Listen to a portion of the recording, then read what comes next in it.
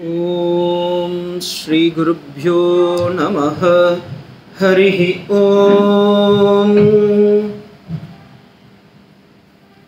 गुरुब्रह्मा गुरुविष्णुः गुरुर्देवो महेश्वरः गुरुरेव परं ब्रह्म तस्मै श्रीगुरवे नमः। ईश्वरो गुरुराज्ञेति मूर्तिभेदविभागिने व्योमवव्याप्तदेघाय श्रीदक्षिणामूर्तिमीडे जन्माद्यस्य यतोऽन्वयाश्चितरश्च अर्तेश्च विज्ञस्वरात् तेने ब्रह्महृदाय आदिकवये मुह्यन्ति यत्सूरयः तेजो वार्यता विनिमयो यत्र त्रिसर्गो मृषा धाम्ना स्वेन सदा निरस्तदुहकं सत्यं परं धीमहि।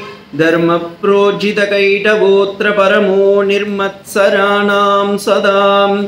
वेद्यं वास्तवमस्तु वस्तु शिवतं तापत्रयोन्मूलनं। श्रीमद्भागवते महामुनिकृते। किं वा परै ईश्वरः सद्योरुध्यवरुध्यते अत्र कृतिभिः। शुश्रूषया तद्दक्षिणात्। निगमकल्पतरोर्घटितं फलं सुखमुखातमृतत्वरसंयुतं। पिबत भागवतं रसम् आलयं मुहुरगो रसिका भुवि भावुका। यं प्रव्रजन्ति मनुपेद्यमपेद्य कृत्यं द्वैपायनं विरजहाव आजुवाह पुत्रेति तन्मयतरयाभिनेतुं सं तं सर्वभूतहृदयं मुनिम् आनतोऽस्मि। यस्वानुभावमखिलश्रुतिसागरमेकम् अध्यात्मदीपम् अदितितीर्षतां तमोऽभ्यनन्तं संसारिणां करुणयाघ पुराणगुह्यं तं व्याससूनुम् उपयामीं गुरुं मुनीनां। नारायणं नमस्कृत्य नरं चैव नरोत्तमं। देवीं सरस्वतीं व्यासं ततो जय उदीरयेत्। कृष्णाय वासुदेवाय हरये परमात्मने प्रणतक्लेशनाशाय। गोविन्दाय नमो नमः गोपिका जीवनस्मरणं गोविन्दा गोविन्दा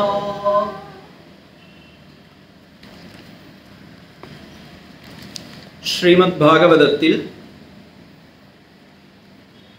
ஏழாவது ஸ்கந்தம் ஐந்தாவது அத்தியாயத்தில் பிரகலாத சுவாமியுடைய திவ்யமான சரித்திரத்தை பார்த்து வர்- அனுபவித்து வருகின்றோம் ஸ்ரேப்பதியான ஸ்ரீமன் நாராயணனுடைய பரமகாருண்யத்தினால் பாகவதத்தை இதுவரைக்கும் நம்ம எல்லோரும் கேட்கறதுக்கு பகவானுடைய அனுகிரகத்தோட எழுபது வகுப்புகள் பூர்த்தியாகி எழுபத்தி ஓராவது வகுப்பில் வந்திருக்கோம். அதுவே ஒரு பெரிய பகவானுடைய காருண்யம் தான் சொல்லணும். இதில் பிரகலாத சுவாமி பக்திக்கு நவலட்சணங்களை கொடுத்து அதன் மூலம் பாகவத உத்தமன் யார் என்று காட்டி அவங்க திருத்தந்தையாரான ஹிரண்யகசிப்பு கேட்டதற்காக தான் கற்ற கல்வியில் சிறந்த வேதத்தின் பலன் என்ன அதன் சுருக்கம் என்ன என்று கேட்கும்போது பகவானை அடைவதே அறிவு. மற்றொன்றும் அறிவென்று அறியப்பட மாட்டா அப்படின்னு தெளிவாக சொல்கிறார் இதே விஷயத்தை முண்டக விஷ முண்டக உபனிஷத்னு ஒன்று இருக்கு. அதர்வ வேதத்துக்கு சாக்கையில் வரும். அங்கே அதர்வ மகர்ஷி அங்கீரஸ் என்னும் மகரிஷி போய் சௌனக ரிஷிகளிடம் கேட்கும்போது இதே கேள்வியை கேட்குறார். பகவானி எனக்கு உலகத்தில் எது வித்யா எது கல்வி? எதை ஒன்றை நான் கற்றால் அனைத்தையும் நான் கற்றதற்கு சமமாக மாறிவிடுமோ? அதை எங்களுக்கு சொல்லிக் கொடுங்கள் அப்படின்னு சொல்லி கேட்குறார். அதற்கு அந்த ரிஷி சொல்கிற வாக்கியம் தான் ரொம்ப இது. இந்த உலகத்தில் ரெண்டு விதமான வித்யா இருக்கப்பா. ஒன்று நம்ம எல்லாருக்கும் தெரிஞ்சது physics chemistry maths biology botany என்னென்ன இருக்கோ மேக்ஸு இங்கிலீஷு சயின்ஸு எல்லாத்தையும் வச்சுக்கலாம். அவர் இன்னும் பெருசா சொல்றார். ரிக்வேதோ யஜுர்வேதோ சாமவேதோ அதர்வவேதோ சீக்ஷாகல்பம் வியாக்கரணம் நிருக்தம் சந்திஷம் ஜோதிஷம் இது எல்லாத்தையும் சொல்றார். அத்தனையும் வேதங்கள் முதல் கொண்டு அனைத்தும் வித்தை என்று எடுத்து எடுத்துக்கொள்ளப்பட மா மாட்டாது. அப்ப வித்யா அப்படின்னு நம்ம எதை தெரிஞ்சுட்டோம்னா அந்த வித்யாவால நமக்கு எதிர் மோட்சத்தை கொடுக்குமோ? அது மட்டும்தான்ப்பா வித்யா? அந்த வித்யா பேரு ஆத்ம வித்யா தத்ர அபரா ஏவ அவித்யா அப்படின்னு பாஷக்காரர் அங்கே தெளிவாக சொல்கிறார் அப்போ உண்மையான அறிவு என்பது என்னவென்றால் நம்மை நாமே உணரும் அறிவு என்பது மட்டுமே. அதனால தான் பிரகலாத சுவாமி இந்த பதிலை சொல்கிறார் அவங்க அப்பா கேட்டது என்னென்னா குழந்தைங்கள் எல்லாம் நம்ம குழந்தைங்கள்லாம் கிண்டர் கார்டனும் மெட்ரிகுலேஷன் ஸ்கூலில் படிச்சுட்டு ஆற்றுக்கு வரும்போது நம்ம கேட்போம். இன்றைக்கி என்னடா படித்த அப்படின்னா அது ட்விங்கிள் ட்விங்கிள் லிட்டில் ஸ்டார் அப்படின்னு சொல்லும். உடனே நம்ம எல்லாரும் என்ன பண்ணுவோம்? அதுங்களெல்லாம் பார்த்து ரொம்ப சந்தோஷப்படுவோம். குழந்தை நன்னா படிச்சிருத்து அப்படின்னு. ஆனால் அது கல்வி அல்ல. உண்மையான கல்வி என்பது பகவானை உணர்வதே. கற்றதனால் ஆய பயன் என்குள் நற்றார் தொழார் எனின். பகவானை நாம் புரிந்து கொள்ளவில்லை என்றால் நாம் கற்றதனால் ஆய பயன் என் வள்ளுவ பெருந்தகை அவ்வளோ அழகாக சொல்லி வச்சுருக்காரு. அவரும் வேதத்தை படிச்சிருப்பார். அதனால இவ்வளோ தெளிவாக சொல்ல தெரியுது. ஸோ இந்த குழந்தை அப்பா கேட்டதுக்காக அவர் பகவானுடைய அந்த இதுவெல்லாம் சொல்கிறார் ஆனால் அப்பா ரொம்ப கோபமாயிடுறார். அதுக்கப்புறமா ஏகப்பட்ட தண்டனைகள் எல்லாம் குழந்தைக்கு கொடுக்குறார். ஈட்டியால் குத்துறது யானையை வச்சு கொள்ளுறது பாம்பு விஷம் நிறைந்த பாம்புகளை வை- வைத்து கடிக்கச் செய்தல் கிருத்தியான்ற ஒரு பூதத்தை அனுப்பிச்சு அந்த குழந்தை மேலே ஏவுதல் சாப்பாடே கொடுக்காம அன்ன ஆகாரமே இல்லாமல் இருக்கணும் அப்படின்னு செய்யறது மலையிலிருந்து தள்ளி விடுறது இறுதியாக தன்னுடைய ம மனைவியான கயாதிக்கிட்டேயே விஷத்தை கொடுத்து குழந்தைக்கு அம்மா மூலமாகவே குழந்தைக்கு விஷத்தை கொடுத்துடலாம் அப்படின்னு அந்த அளவுக்கு இறங்கியும் ஒன்றும் நடக்கலை. கடைசியில் நெருப்பில் இறக்கி பிரகலாத சுவாமியை ஹிரண்யகசிப்பு கேட்குறான் என்ன ஆயிடுத்து? உனக்கு நெருப்பு சுடருதா? அப்படின்னு கேட்குறான் அப்போ அந்த குழந்தை சொல்லுறது எங்கப்பா நெருப்பு எப்படிப்பா சுடும்? பகவானே அக்னிஸ்வரூபம் தானேப்பா? அப்படின்னு நம்ம ஒன்று அவனுக்கே பயமாயிடுத்து. ஹிரண்யகசிப்பு இப்போ நினைக்கிறான் ஒருவேளை பிரம்மா வரத்தை மாற்றி கொடுத்தாரோ? நம்ம தானே சாவக்கூடாதுன்னு கேட்டோம் ஒருவேளை நம்ம குழந்தைக்கு அதை வா- கொடுத்துட்டானோ அப்படின்னு நினைக்கிறார். அப்படி ஹிரண்யகசிப்பு நினைக்கும் போது அவரே என்ன பண்ணுறார் நெருப்புலையும் கை வச்சு பார்க்குறார். அவர் கை சுடருது ஆனால் குழந்தைக்கு சுடரல அவருக்கு என்ன பண்ணுறதுன்னு தெரியல. ஆஹா நமக்கு காலனே இப்படி வந்து விட்டான். நமக்கு எமன் வேண்டான்னு நான் கேட்டேன். சாது வரக்கூடாது. சாவா நிலைமை வேண்டும் அப்படின்னு சரீரத்துக்கு கேட்டேன். பகவான் என்ன பண்ணிட்டான்? எனக்கு மரணத்தையே இந்த குழந்தை மூலமாக கொடுத்துட்டானோ? அப்படின்னு நினச்சி விஷனப்பட்டு தலையில் கை வச்சுண்டு ஓன்னு அழுதான். போன வாரம் அழுவ ஸ்டார்ட் பண்ணால் ஒரு வாரமாக அழுதுன்ட்ருக்கான் ஸோ இப்போ இவன் அழுவுறது தாங்காமல் சண்டாமர்க்கர்கள் யார்? ஹிரண்யாக்ஷகன் மெட்ரிகுலேஷன் ஸ்கூலில் கரஸ்பாண்டன்ஸாகவும் பிரின்ஸிபாலாகவும் இருக்கிறவா? ரெண்டு பேரும். ஹிரண்யகஷ்புவை பார்த்து சொல்கிறா பகவானி நீங்களே இப்படி அழுதா? நாங்களாம் என்ன ஏமாத்துறோம்? அதனால் நீங்கள் கவலைப்படாதீங்கோ. ரொம்ப கஷ்டப்படுறீங்க. உங்கள் முகத்தை பார்த்தாவே தெரியுது. இருந்தாலும் பரவாயில்ல நான் குழந்தைய எங்களுடைய குருகுலத்துக்கு கூட்டிட்டு போகிறோம் நீங்கள் கொஞ்ச நாள் பொறுத்து அவனை திருப்பவும் நாங்கள் அனுப்பிச்சி வைக்கிறோம். அதுக்குள்ளார உங்களுக்கும் சரியாக போயிடும். இவனும் குழந்தையும் மனசு மாறி விடுவான். அப்படின்னு சொல்லிட்டு சண்டாமர்க்கர்கள் அந்த குழந்தைய ஹிரண் பிரகலாத சுவாமியை கூட்டிட்டு போகிறான் கூட்டிட்டு போய் அவங்களுடைய குருகுலத்தில் வச்சு கூட்டிட்டு போகிறான் இப்போ இந்த அரச சபையில் என்னென்னலாம் நடந்ததோ இரண்யகஷிப்பும் சண்டாமர்கர்களும் முன்னிலையில் தான் அந்த குழந்தைக்கு இத்தனை நடந்தது. இதெல்லாம் எல்லாருக்கும் நியூஸ் சேனல் அங்கெல்லாம் நிறைய சோஷியல் மீடியாஸ் இருக்குமே. எல்லாருக்கும் பரவிட்டு இருக்கும் வாட்ஸ்அப் ட்விட்டர் ஃபேஸ்புக் எல்லாம் போட்டாங்க. பிரகலாதன் அழிவில்லா குழந்தை அப்படின்னு ஹெட்லைன்ஸில் போட்டுட்டான். எங்கே பார்த்தாலும் இது குருகுலத்துக்கே எட்டிடுது குருகுலத்தில் போய் பார்த்தா ஒரு குழந்தை ஹிரண்யகசிபு மாதிரி வேஷம் போட்டுன்னு இருக்கான் ஏ பிரகலாதா என் குழந்தாய் கடவுள் எங்கே இருக்கான்னு சொல்லு அப்படின்னு. உடனே அந்த குழந்தை நாராயணன் எங்கே இருக்கான்னு அந்த குழந்தை மாதிரி ஒரு குழந்தை பிரகலாத மாதிரி ஆக்ட் பண்ணுது இன்னொரு குழந்தை ஹிரண்யகசிபு மாதிரி ஆக்ட் பண்ணுது. இதை பார்த்த உடனே சண்டாமர்க்கர்களுக்கே பயமாயிருது. என்னடா இது? நம்ம குருகுலம் வரைக்கும் இந்த நியூஸ் எல்லாம் எட்டியிருத்தே என்ன பண்ணுறதுன்னே தெரியலையேன்னு சொல்லிட்டு எல்லாரையும் சொல்கிறாங்க ஒழுங்காக போய் படிங்கடா அப்படின்னு சொல்லி எல்லாரையும் ஸ்கூலில் போய் இந்த வாத்தியாருங்களாம் பார்த்தீங்கன்னா கொம்போடு இருப்பான். தண்டத்தை முதல்ல தாக்குன தண்டம். அதனால் அந்த ப குழந்தைங்க அந்த குழந்த ஸ்கூலில் படித்து வெளியே வரும்போது அது என்ன ஆகிடும்னா தண்டமாக போயிடும். ஸோ அந்த குழந்தைங்க எல்லாம் போய் பார்த்தீங்கன்னா போயிடுது. இப்போ சண்டாமர்கர்கள்லாம் அவங்களுடைய நித்திய அனுஷ்டானம்னு ஒன்று இருக்கும். அதாவது காலையில் சந்தியாவந்தனம் பூஜை அக்னிஹோத்திரம் உபாசனம் அது மாதிரி காரியங்கள்லாம் இருக்கும். இவா ரெண்டு பேரும் என்ன பண்ணுறாங்க ஸ்கூலில் பார்த்துக்கோங்கடா நல்லா நீங்களே எங்கடான்னு சொல்லி கேட்டெல்லாம் பூட்டிட்டு அவங்க போகிறாங்க பக்கத்தில் நதி ஸ்நானம் பண்ணிவிட்டு அப்படியே சந்தியாவந்தனம்லாம் பண்ணணும்னு போகிறான் அவள் வர்றதுக்குள்ளார இங்கே இருக்கிற குழந்தைங்கள்லாம் பிரகலாத சுவாமியை பார்த்து கேட்குறார் ஏண்டா பிரகலாதா உங்கள் அப்பா எவ்வளோ பெரிய ராஜா? எழுபத்தோரு சதுர்யுகம் தபஸ் செய்தவர் தலகீழாக நின்று தபஸ் பண்ணார். முப்பத்தி ஆறு ஆறாயிரம் வருடங்கள் இந்த பூமண்டலத்தை ஆண்டவர் எல்லா இடத்துலையுமே அவர் தாண்டா இப்போ கடவுள்னு நினைக்கிறோம். அவரை வச்சு தான் பூஜை யாகம் புனஸ்காரம்லாம் நடக்கிறது. நீ மட்டும் இப்படி தப்பாக சொல்லலாமா? அப்படின்னு அந்த குழந்தைங்களில் யாரோ ஒருத்தர் பிரகலாத சுவாமி கேட்டுட்டான் இப்போ பிரகலாத சுவாமிக்கு என்ன பண்ணுறதுன்னு தெரியல. காருண்யம். என்னதான் அசுரர்களாக இருந்தாலும் அவங்களும் மனுஷர்கள் தானே. அவங்கக்குள்ளாரையும் அந்த சரீரத்திலையும் பகவான் இருக்கிறானே அப்படின்ற அந்த கருணை அவனுடைய இதயத்தில் போய் விழுந்துருத்து அப்போ பிரகலாத சுவாமி என்ன பண்ணுறார் அவர் திருவாய் மலர்ந்து ஒரு வார்த்தை சொல்றார். கௌமாரே ஆச்சரேத் பிராஜ்ய தர்மான் பாகவதானிக துர்லபம் மானுஷம் ஜன்ம ததபியம் துருவம் அர்த்தவத்து ஏ குழந்தைகளா நீங்க கேட்குறீங்களே எங்க அப்பா தான் வந்து உண்மையா கடவுள்னு எல்லாரும் சொல்லிட்டு இருக்கீங்களே அப்படிலாம் இல்லப்பா. துர்லபம் மானுஷம் ஜென்ம. இந்த மனித சரீரம்னு இருக்கிறதே அதுவே ஒரு பெரிய அற்புதமான ஒரு விஷயம்பா. மனிதனாய் பிறப்பதற்கே நாம் பெரும் தவம் செய்தல் வேண்டும். அதனால தான் பாரதியார் அந்த வார்த்தை யூஸ் பண்ணார். மானிட மானிடனாய் பிறப்பதற்கே மாதவம் செய்திடல் வேண்டும் அப்பா அப்படின்னு.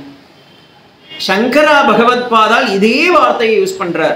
துர்லபம் திரைமே வைதத் தேவானுகிரக ஹேதுகம் மனுஷத்துவம் முமுட்சுத்துவம் மகாபுருஷ சம்சயம்.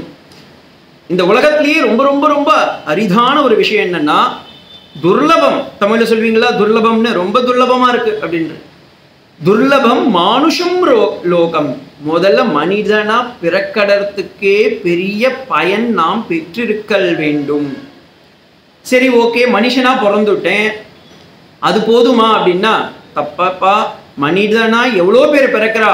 ஆனால் அதுக்கு கூட இன்னும் ரெண்டு குவாலிஃபிகேஷன் வேணும். என்ன பிஏவா எம்ஏவா ரெண்டு குவாலிஃபிகேஷன் அப்படின்னா தேவானுகிரக ஹேத்துக்கம் மனுஷத்துவம் முமுக்ஷுத்வம் பகவானை அடையணுன்ற வேட்கை இருக்க வேண்டும். அதற்கூட இப்போ ம நான் மனுஷனாக பிறந்துட்டேன். பகவானை அடையணுன்ற எண்ணம் இருக்கு. ஆனால் யார் பகவான்னு தெரியாது. அவர் எங்க இருக்காருன்னு தெரியாது. அப்போ நம்ம எப்படி போய் அவரை அடையிறது அப்படின்னா மகா புருஷ சம்சயம். பெரியவங்களுடைய அனுகிரகம் இருக்கணும் அவங்களுடைய ஆசீர்வாதம் இருக்கணும் அவங்க கூட பழகிற ஒரு நல்ல செயல் நமக்கு வந்துருத்துனா ஈஸியாக நமக்கு கிடைச்சிடும். அதுதான் ஔவையார் அவ்வளோ இன்னும் தெளிவாக சொல்கிறா அரிது அரிது மானிடராய் பிறத்தல் அரிது. அதனினும் அரிது என்ன? நல்லாரை காண்பதும் நன்றே நலமிக்க நல்லா சொல் கேட்பதும் நன்றே நல்லார் குணங்கள் உரைத்தலும் நன்றே அவரோடு இணங்கி இருத்தலும் நன்றே. அவங்க கூடயே இருக்குங்கப்பா அப்பதான் தெரியும் உங்களுக்கு கஷ்டம் என்னன்னு புரியும். சோ துர்லபம். அந்த மனிதனாய் பிறந்து பகவானை அடைய வேண்டும் என்ற எண்ணம் இருந்து அதனோடு சேர்ந்து பெரிய நல்ல மகான்களுடைய சாதுக்களுடைய அனுகிரகமும் கூட வாழற ஒரு இதுவும் கிடைச்சிருத்துனா எவ்வளோ பெரிய புண்ணியம்? அப் அந்த விஷயத்துல நீங்கள்லாம் புண்ணியம் பண்ணவா? ஏன்னா மூணும் கிடைச்சிடும் பகவான் பிரகலாத சுவாமி சொல்கிறார் உங்க எல்லாருக்கும் மனிதனாய் பிறந்து விட்டீர்கள். ஆனா நல்ல அனுகிரகம் கிடைக்காம போயிருத்தப்பா. என கடவுள் யாருன்னு கேட்டா இரண்ய கஷிப்புன்னு சொல்கிறீங்களே அவன் கடவுள் இல்லையப்பா. ஏன்னா அவன் கடவுளா இருந்தா தான் சாவக்கூடாதுன்னு ஏதாவது ஒரு வரத்தை வாங்குவானா? அப்ப என்ன அர்த்தம்? அவனுக்கே தெரியும் தான் சாவ போறேன்னு. யார் ஒருத்தர் இறக்கின்றார்களோ அவர்கள் எப்படி மனிதனாக மாற முடியும்? அவர்கள் எப்படி கடவுளாக மாற முடியும்? ஏன்னா நம்ம எல்லாருக்கும் பார்த்தீங்கன்னா மேனுஃபேக்சரிங் டேட்டு எக்ஸ்பிரி டேட்டோடு தான் பகவான் நம்மளை பூலோகத்துக்கு அனுப்பிச்சு வைக்கிறான். ஆனால் மகான்களோ பெரிய பெரிய அவதாரங்களோ இறைவன் வந்து பார்த்தீங்கன்னா அவங்களுக்கு என்றைக்குமே அழிவில்லை. இன்றைக்கும் நீங்கள் திருப்பதிக்கு போனீங்கன்னா அதே பாலாஜி தான் யார் குலசேகர ஆழ்வாருக்கு காட்சி கொடுத்தாரோ எத்தனை எத்தனை ஆழ்வார்கள் ஆச்சாரியர்கள் போய் காட்சி கொடுத்தாங்களோ அதே பெருமாள் அங்கேயே இருக்கார். இன்னைக்கும் காமாபுக்கரில் போய் பார்த்தீங்கன்னா அதே ஸ்ரீராமகிருஷ்ணருடைய இது இருக்கு. அவருடைய லீலாஸ்தானம். இன்னைக்கும் பகவான் அங்க இருக்கிற பிரத்யக்ஷமா எல்லாரும் அனுபவிக்கிறாங்க. அன்னை சாரதா அம்மா. இன்னைக்கும் ஜெயராம்பாடி மட்டும் இல்லை எங்கெங்கெல்லாம் இருக்காங்களோ சாதுக்கள் அங்கெல்லாம் இருக்காங்க அம்மா. ஸோ அப்ப என்ன சுவாமி இல்லையே அவங்களுக்கும் பூத சரீரம். பூத சரீரம் விட்டு போச்சா கண்டி அவங்களுடைய லீலா சரீரம் இன்னைக்கும் இருக்கு. கண்ணன் நம்பரான் துவாரகாபுரி தேசன் இன்னைக்கும் இருக்கான். அதுக்கு பிரத்யக்ஷமா நீங்க போய் பார்க்கணும்னா துவாரகையில பூஜை பண்ணும்போது நைட்டு பள்ளியறை பூஜை முடிஞ்ச உடனே எல்லாரையும் அமுச்சுடுவா. ஏன்னா அவனுடைய ஒலி இன்னைக்கும் கேட்கறது சப்தம் கேட்கும் அவன் இருக்கான். நைட்டு அவனுக்காக தனியா ஒரு சாப்பாடை வச்சுட்டு அணைச்சிட்டு கதவை சாத்திட்டு போவான் காலையில போய் பார்த்தா இருக்காது. அது மாதிரி இன்னைக்கும் பிரத்யக்ஷமா நடக்கிறது. பிருந்தாவனத்துல இன்னைக்கும் எத்தனை கோடி பேர் போயிருக்கா? அன்னைக்கு ஆனந்தகிரி சுவாமி சொன்னார்ல பிரத்யக்ஷமா அங்க இருக்கிறவங்க அத்தனை பேரும் போய் பார்த்தீங்கன்னா அனுபவிப்பாங்க. கண்ணை இருக்கான் கண்ணை இருக்கான் அப்படின்னு தான் சொல்லுவாங்க. ஸோ மகான்களுக்கும் அவதாரங்களுக்கும் அது செல்லாது. அப்ப இரண்யகசிபு தான் இறப்பான் என்பதை தெரிந்துதான் நான் பிறவாமை வேண்டும் என்று கேட்கின்றான். அப்ப என்ன அர்த்தம்? அவன் கடவுள் இல்லைன்னு அர்த்தம்பா. உடனே இந்த குழந்தைங்கெல்லாம் கேட்குறா அப்போ யார் கடவுள்? சரி ஓகே. உனக்கு மட்டும் எப்படி இது கரெக்டாக தெரியும்? மனுஷனா பிறந்தாச்சு. நீ உங்கள் அப்பா கடவுள் இல்லைன்னு சொல்லிட்ட. குழந்தையே சொல்கிறான் இப்போ பாருங்க ஊரில் இருக்கிறவங்களுக்கெல்லாம் சொல்கிறாங்க சொல்றாங்க கஷிப்பு அவதாரம்னு. கடவுள்னு நம்பிட்டா பூஜையும் மாத்தின்டா ஆனால் தாம் பெத்த பிள்ளையே என்ன சொல்கிறான் அவர் கடவுள் இல்லை. அப்படின்றான் அப்போ யாருன்னு கேட்குறான்? அவர் யதா ஹி புருஷஸ்யேக விஷ்ணோர் சமர்ப்பிதம் விஷ்ணு பகவான் தான்ப்பா யார் அந்த விஷ்ணு அப்படின்னா வியாபகத்வாத் விஷ்ணு யார் எங்கேயும் எல்லா இடத்திலும் நிறைந்து இருக்கின்றாரோ அவர்தான்ப்பா பகவான். அப்ப ஹிரண்யகசிபு இரண்யா இரண்ய லோகத்துல இருந்தான்னா வேற எங்கேயும் இல்லை. இப்ப அடியேன் இங்கே சேலத்துல அஸ்தம்பட்டியில இந்த இடத்துல இருக்கிறேன் ராமகிருஷ்ணா மடத்துல. என்ன நான் சென்னையில் இல்லை. பாம்பேல இல்லை. டெல்லியில இல்லை. அப்ப நான் யாரு? அல்பக்ஞன். அதே பகவான் பார்த்தேன்னா எல்லா இடத்துலயும் இருக்கிறான். அவன் இல்லாத இடம் எங்க? எல்லா இடத்திலும் நீக்கமர நிறைந்திருக்கிறதுனால தானே அவருக்கு பேரே பெரும் ஆள். இல்லைன்னா நம்ம நம்மலாம் யாரப்ப சிறுமால் அதனால பெருமாள்னு சொல்றோம். ஸோ விஷ்ணு வியாபகத்வாத் அப்படின்றார். அப்போ நாங்கெல்லாம் என்ன நினைச்சுட்டு இருக்கோம்? உடனே எல்லா குழந்தைங்களும் தலை சொறியிறது ஆஹா பிரகலாதன் சொல்கிறது ஏதோ கரெக்ட் மாதிரி தான் தெரியுது ஆனாலும் எனக்கு டவுட் இருக்கு அப்படின்றான் அப்போ பிரகலாத சுவாமி சொல்கிறார் தத் பிரயாசோ ந கர்த்தவ்யம் யத் ஆயுக்ஷ்ய பரம் ந க்ஷேமம் முகுந்த சரணாம்புஜம் ஏ குழந்தைகளா பிரகலாத சுவாமியோடைய பக்தி பாவத்தில் போய் பார்த்தீங்கன்னா மற்ற குழந்தைகளும் அவன் வயசு குழந்தைங்க தான். ஆனால் அவனுடைய பக்தியில் தாயுள்ளத்தோடு சொல்கிறான் ஏ குழந்தைகளா நீங்கள் எல்லாரும் யார்கிட்ட போய் பகவான் எந்த பகவானை போய் நீங்கள் நமஸ்காரம் பண்ணணும்னா முகுந்த சரணம் அம்புஜம். அந்த குழந்தை முட்டு ஒரு தாமரை முட்டு எப்படி இருக்கும்? அது மாதிரி குட்டியாக ஒரு முட்டு மாதிரி ஒரு கால் உட்காந்துட்டு இருக்கு பாரு. அந்த குழந்தைக்கு பேர் முகுந்தன். அந்த முகுந்தனுடைய பாதாம்புஜத்தை போய் நமஸ்காரம் பண்ணுங்கோடா அப்படின்றான். இந்த குழந்தைங்களுக்கெல்லாம் தூக்கி வாரி போடுது. எங்க அப்பா எங்க தாத்தா எல்லாரும் வந்து உங்க அப்பாவை வணங்க சொன்னார். நீயே என்ன சொல்ற? அவனை வணங்காதடா. அப்படின்ற. ஆனா எங்களுக்கெல்லாம் ஒரு மாதிரி இருக்கே இது என்ன ஏ- ஏன்னா சண்டாமர்கள் இதை சொல்லி கொடுக்கல. இது சொல்லி கொடுக்காததை இந்த குழந்தை சொல்லி கொடுக்குறான். இப்ப நம்ம வயசு ப- ஆளுங்களே ஒருத்தர் வந்து இதை சொல்கிறான்னு வச்சுக்கோங்களேன் நம்ம என்ன சொல்லுவோம்?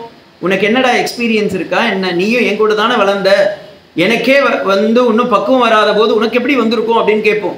அதே நிலைமையில் மற்ற குழந்தைங்கள்லாம் பிரகலாத சுவாமியை பார்த்து கேட்குறது அப்போ பிரகலாத சுவாமி சொல்கிறார் எனக்கு இது அனுபவத்தில் வந்ததப்பா. எனக்கு ஒரு நல்ல சாதுவோடைய அனுகிரகம் கர்ப்பத்தில் இருக்கும்போதே எனக்கு கொடுத்துட்டாருப்பா. அந்த கர்ப்பஸ்ரீமானான் எனக்கு என்னுடைய அம்மாவுடைய வயிற்றில் இருக்கும்போதே இந்த அனுகிரகம் கிடைக்கப்பெற்றதால் அந்த அனுபவம் தானாவாகவே வந்துவிட்டதப்பா பகவானுடைய அனுகிரகத்தோடு கூடிய. இதுதான். எல்லா குழந்தைங்களுக்கும் நம்ம செய்ய வேண்டிய ஒரு உத்தமமான கைங்கரியம்.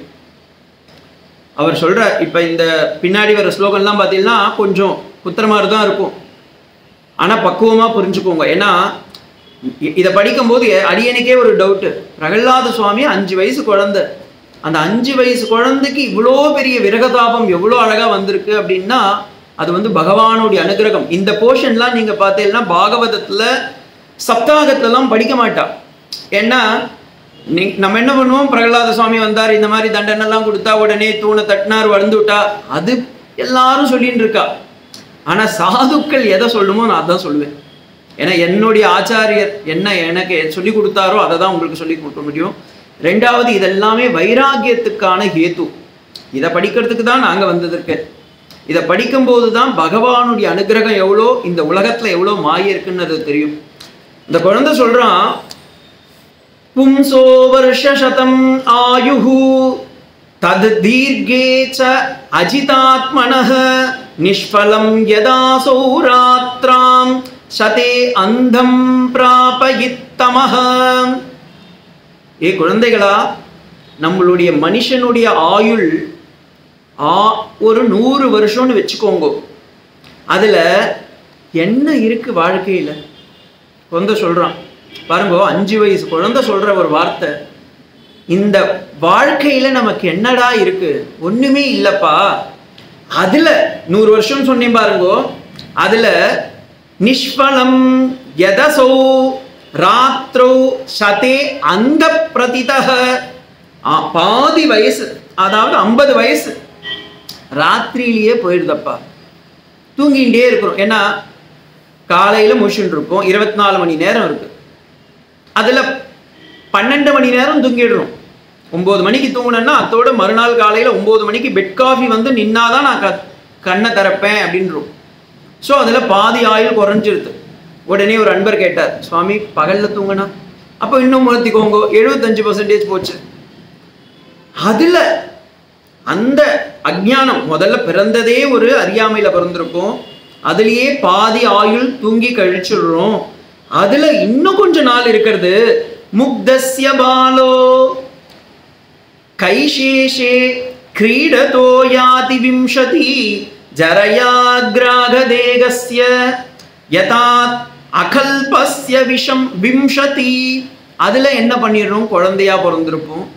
கொஞ்ச நாள் இங்கே அங்கே எங்கன்னா விளையாடின்னு இருப்போம் கொஞ்ச நாள் அங்கங்கே கொஞ்ச நாள் ஸ்கூலு காலேஜுன்னு அப்படி போயிட்டு இருப்போம் அதுக்கு நடுவில் கொஞ்ச நாள் பார்த்தீங்கன்னா மனசு எங்கேயோ அலைபாய்ந்து கொண்டு செல்லும் அங்கெல்லாம் போயின்னு இருப்போம் அப்புறமா கொஞ்சம் சம்பாதிக்கணும் சம்பாதிக்கணும்னு எதுக்காக ஓடுறோன்னு வாழ்க்கை தெரியாமல் ஓடின்னு இருக்கும் அதுக்கப்புறமா வீட்டில் பிடிச்சி திருமணம்லாம் பண்ணி வச்சுட்டாங்கன்னா அதுக்கு எங்கேயோ ஒரு இடத்துல ஓடின்னு இருப்போம் அப்புறமா வந்தவாளுக்கு வந்து அவங்கள காப்பாற்றணும் நம்ம தான் அவங்களுக்கு குடும்ப தலைவர்னு போட்டு எல்லாத்தையும் பண்ணிட்டு இருப்போம் இப்போ நான் ஆண்களுக்கு சொல்கிறேன்னா அது பெண்களுக்கும் வச்சுக்கோங்க.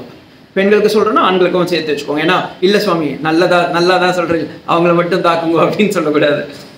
வேதத்தில் ஏன்னா நீங்கள் நினச்சி பார்த்துக்கோங்க பிரகலாத சுவாமி இதை சொல்கிறார் பிரகலாதர் மேபி பாய்ஸ் கான்வென்ட்டில் படிச்சிருப்பார். அதனால் எல்லாமே ஆம்பளையாக போட்டு விட்டார் பாவம். அதனால் அவங்களுக்கு இருக்கிற பெருமை இவங்களுக்கும் இருக்கும். எல்லாம் குழந்தைங்க இப்படியே போயிடுது. கடைசியில் ஆயுள் நஷ்யத்தி பஷ்யத்தி அனுதினம் அப்படியே போயிட்டே இருக்கு. அறுபது வயசு ஆகிடும் கடைசியில் என்ன பண்ணுறா ரிட்டையர்மெண்ட் கொடுத்து மாலையை கழுத்தில் போட்டு எப்பா நீ உழைச்சது போதும்பா அதுக்கு போய் சேமமாக உட்காருன்னு சொன்னால் நம்மளால் உட்கார முடியாது. ஏன்னா ஓடி ஓடி ஓடி ஓடி உட்கலந்த ஜோதி நம்ம. அப்போ தான் நம்ம வீட்டில் உட்காந்துட்டு அதிகாரம் பண்ண ஆசைப்படுவோம். அவங்க சொல்லுவாங்க நீங்கள் ரிட்டையர்மெண்ட் அங்கே மட்டும் இல்லை வீட்டுக்கும் தான் சேர்த்து உட்காருங்க அப்படின்வா ஆனால் இவரால் முடியாது. அதுக்கப்புறமா என்ன ஆகுது அவர் அப்படியே கொஞ்சம் இருக்கும்போது வீட்டில் ஒவ்வொருத்தராக முதல்ல பால் வாங்கிட்டு வர சொல்லுவா. அம்மா காய்கறி அம்மா துணைக்கிறது பாத்திரம் படுத்தி எல்லாமே கொஞ்சம் கொஞ்சமாக அப்புறமா ரெண்டு வேலைக்காரங்களாம் தேவையில்லை ஒருத்தரே போதும். இல்லை அது கூட நிறுத்திக்கோங்க எல்லாரும் இவரே பார்ப்பார் அப்படின்னு எல்லா வேலையும் நம்ம தலையிலே கட்டிடுவா. அப்பையும் நம்ம ஹரி கீர்த்தனத்தை மறந்துடுறோம். சரி ஓகே எல்லாம் நடக்கிறது எல்லாம் ந- இல்லை. ஆனால் அப்பப்போ அந்தந்த நேரத்திலேயே நாம சங்கீர்த்தனத்தை பண்ணியிருந்தா பரவாயில்லையே. அதெல்லாம் மறந்துடுறோமே. இதை சொல்லி சொல்கிறான் அகல்பஸ்ய விம்சதி. வீணா நம்ம போய் சேர்ந்துடுறோமே. இதை சொல்லும்போது எனக்கு நம்ம ஆழ்வார்களில் ஒருத்தர் பியூட்டிஃபுல்லாக சொல்லியிருக்கார். உங்க எல்லாருக்கும் தெரிஞ்சிருக்கும் நானே ரெண்டு மூணு முறை சொல்லியிருப்பேன். வேதநூல் பிராயும் நூறு மனிதர்தாம் ஒருவரேனும் பாதியும் உறங்கி போகும் நின்னை பதினையாண்டு. பயதை பாலகன் அதாகும் பிணி மஸ் பிணி பசி ஆதலால் பிறவி வேண்டேன் அரங்கமானகருளானே ஏ அரங்கமா நகரத்தில் இருக்கும் ஸ்ரீரங்கன் நாதனே எனக்கு நீ ஆயுள் என்று கொடுத்தது நூறு வருடங்கள். அதில் ஐம்பது வருடங்கள் தூங்கியே கழித்தேன். அதுக்கு மேலே நான் கொஞ்சம் வளரணும்னு பார்த்தா என்ன ஆயிடுது பேபி இன்ஃபேண்ட்டாக இருக்கேன். அதுக்கப்புறமா ஸ்கூலுக்கு போகிறேன் அதுக்கு மேலே காலேஜுக்கு போகிறேன் அதற்கு மேலே இளமையாயிடுறேன். சரி ஓகே அந்த நேரத்துலலாம் பகவானை வழங்க முடியல. எல்லாம் போர்ஷன் சிலபஸ்லாம் ஜாஸ்தியாக இருக்குன்னு நினச்சா கொஞ்ச நாள் ஆகி பிறகு என்ன ஆயிடுத்துன்னா மூப்பு நோய் பிணி பசி பசி கூட ஒரு நோய் தான் பாருங்கோ உடம்பு எவ்வளோ பெரிய கெப்பாசிட்டியை வச்சுருக்கு நம்ம டெய்லியும் சாப்பிட்டு ஒரு பத்து வருஷம் நம்ம சாப்பிட்டதை மட்டும் இந்த ரூமில் வச்சேன்னா இந்த ரூம் ஃபுல்லாக இருக்கும். அத்தனை இட்லியும் தோசையும் சட்னியும் உள்ளே உட்காந்துருக்கும் அவ்வளோ பெரிய கண்டெய்னர் உட்காந்துருக்கு நம்ம உடம்புல. ஸோ அது எல்லாமே நமக்குள்ளார உட்காந்துட்டு அத்தனைக்கும் நடுவில் உட்காந்துட்டு நம்ம என்ன பண்ணுறோம் ஹரி கீர்த்தனையை மறந்துடுறோம். பகவானை ஸ்மரணம் செய்ய மறந்து விடுகின்றோம். அப்படின்னு சொல்கிறார் அதனால் இப்படியாப்பட்ட வாழ்க்கை தான் வேண்டுமா? அப்படின்றார். சங்கர பகவத் பாதால் மோகமுத்கடம் அப்படின்னு ஒரு கிரந்தம் எழுதியிருக்கார். உங்கள் எல்லாருக்கும் தெரிஞ்சிருக்கும். அதுக்கு நம்ம கலியுகத்தில் நம்ம வச்ச பேர் பஜகோவிந்தம். ஆனால் உண்மையிலேயே அவர் வச்ச பேர் என்னன்னா மோகமுத்கடம் அதில் இதே வார்த்தை யூஸ் பண்ணுறார் இந்த குழந்தை பிரகலாத சுவாமியோடைய வார்த்தைக்கு எத்தனை பேர் வந்து அச்சாணி கொடுக்குறாங்க பாருங்க. ஒரு பக்கம் ஆழ்வார சொன்னேன். அதே போல சங்கர பகவத் பாதால் சொல்கிற பாலஸ்தாவது கிரீடாசக்தக தருணஸ்தாவது தருணி சக்தக விருத்தஸ்தாவது சிந்தாமக்னக பரமே பிரம்மணி கௌபின சக்தக பால பாலனாக இருக்கும்போது கிரீடாசக்தக விளையாட்டிலேயே இருக்கின்றான். கிரிக்கெட் மட்டையை பிடிச்சானா அதுதான். வாழ்க்கை முழுக்க ஓடிண்டே இருப்பான். தருணஸ்தாவது தருணி சக்தக எவ்வனத்தில் இருக்கும்போது மனமும் கண்கள் பார்வை எல்லாம் பார்த்தீங்கன்னா அவன் அவன் அவன் கையிலேயே அவன் வருஷத்துலேயே இல்லை. அது இஷ்டத்துக்கு போயின்னு இருக்கும் இந்திரியங்கள்லாம். விருத்தஸ்தாபத்து வயதான பிறகு பார்த்தீங்கன்னா எல்லாம் நொடிஞ்சு போயிடும். கண்ணு கேட்காது கண்ணு பார்க்காது காது கேட்காது வாய் பேசாது பல்லெல்லாம் உடஞ்சு போயிடும். ஆனாலும் நம்ம என்ன பண்ணுவோம்? கண்ணுக்கு கண்ணாக காதுக்கு காதாக வாய்க்கு டென்ச்சராக எல்லாத்தையும் எக்ஸ்ட்ரா பிட்டிங் போட்டு எப்படின்னா அறுபது வயசுக்கு அப்புறமாவும் அந்த நொறுக்கு தீனிய முறுக்கெல்லாம் சாப்பிடணும் அப்படின்னு சாப்பிடுவோம். பரமே பிரம்மணி கௌபின சக்தக யார் இந்த பிரம்மத்தை நாம் உணர முற்படுகின்றோம் அப்படின்னு பகவத் பாதால் கேட்குறார் இந்த குழந்தையும் அதே மாதிரி கேட்குறான் யார் வந்து இந்த உலகத்துக்கு திரும்ப வருவா? ஜரா மரணம்ன்ற இந்த இதுலேயே நம்ம திரும்ப திரும்ப சுத்தணுமா? அப்படின்னு கேட்குறான் எல்லா குழந்தைங்களும் பார்க்குறது அந்த சண்டாமர்க்கர்கள் குருகுலத்தில் இருக்க குழந்தைங்களாம் பார்க்குறது என்னடா இது? பிறந்து வர்றதுன்றது எவ்வளோ ஜாலியான ஒரு வாழ்க்கை. நம்ம பிறந்த உடனே நம்ம அழுத உடனே நம்ம அப்பா அம்மாலாம் என்ன பண்ணுறா கையை தட்டுறா. ஐயா குழந்தை பிறந்துட்டான்னு. அப்புறமா வருஷம் ஒவ்வொரு வருஷமும் பர்த்டேன்னு செலிப்ரேட் பண்ணி விளக்கெல்லாம் அணைக்கிறோம்.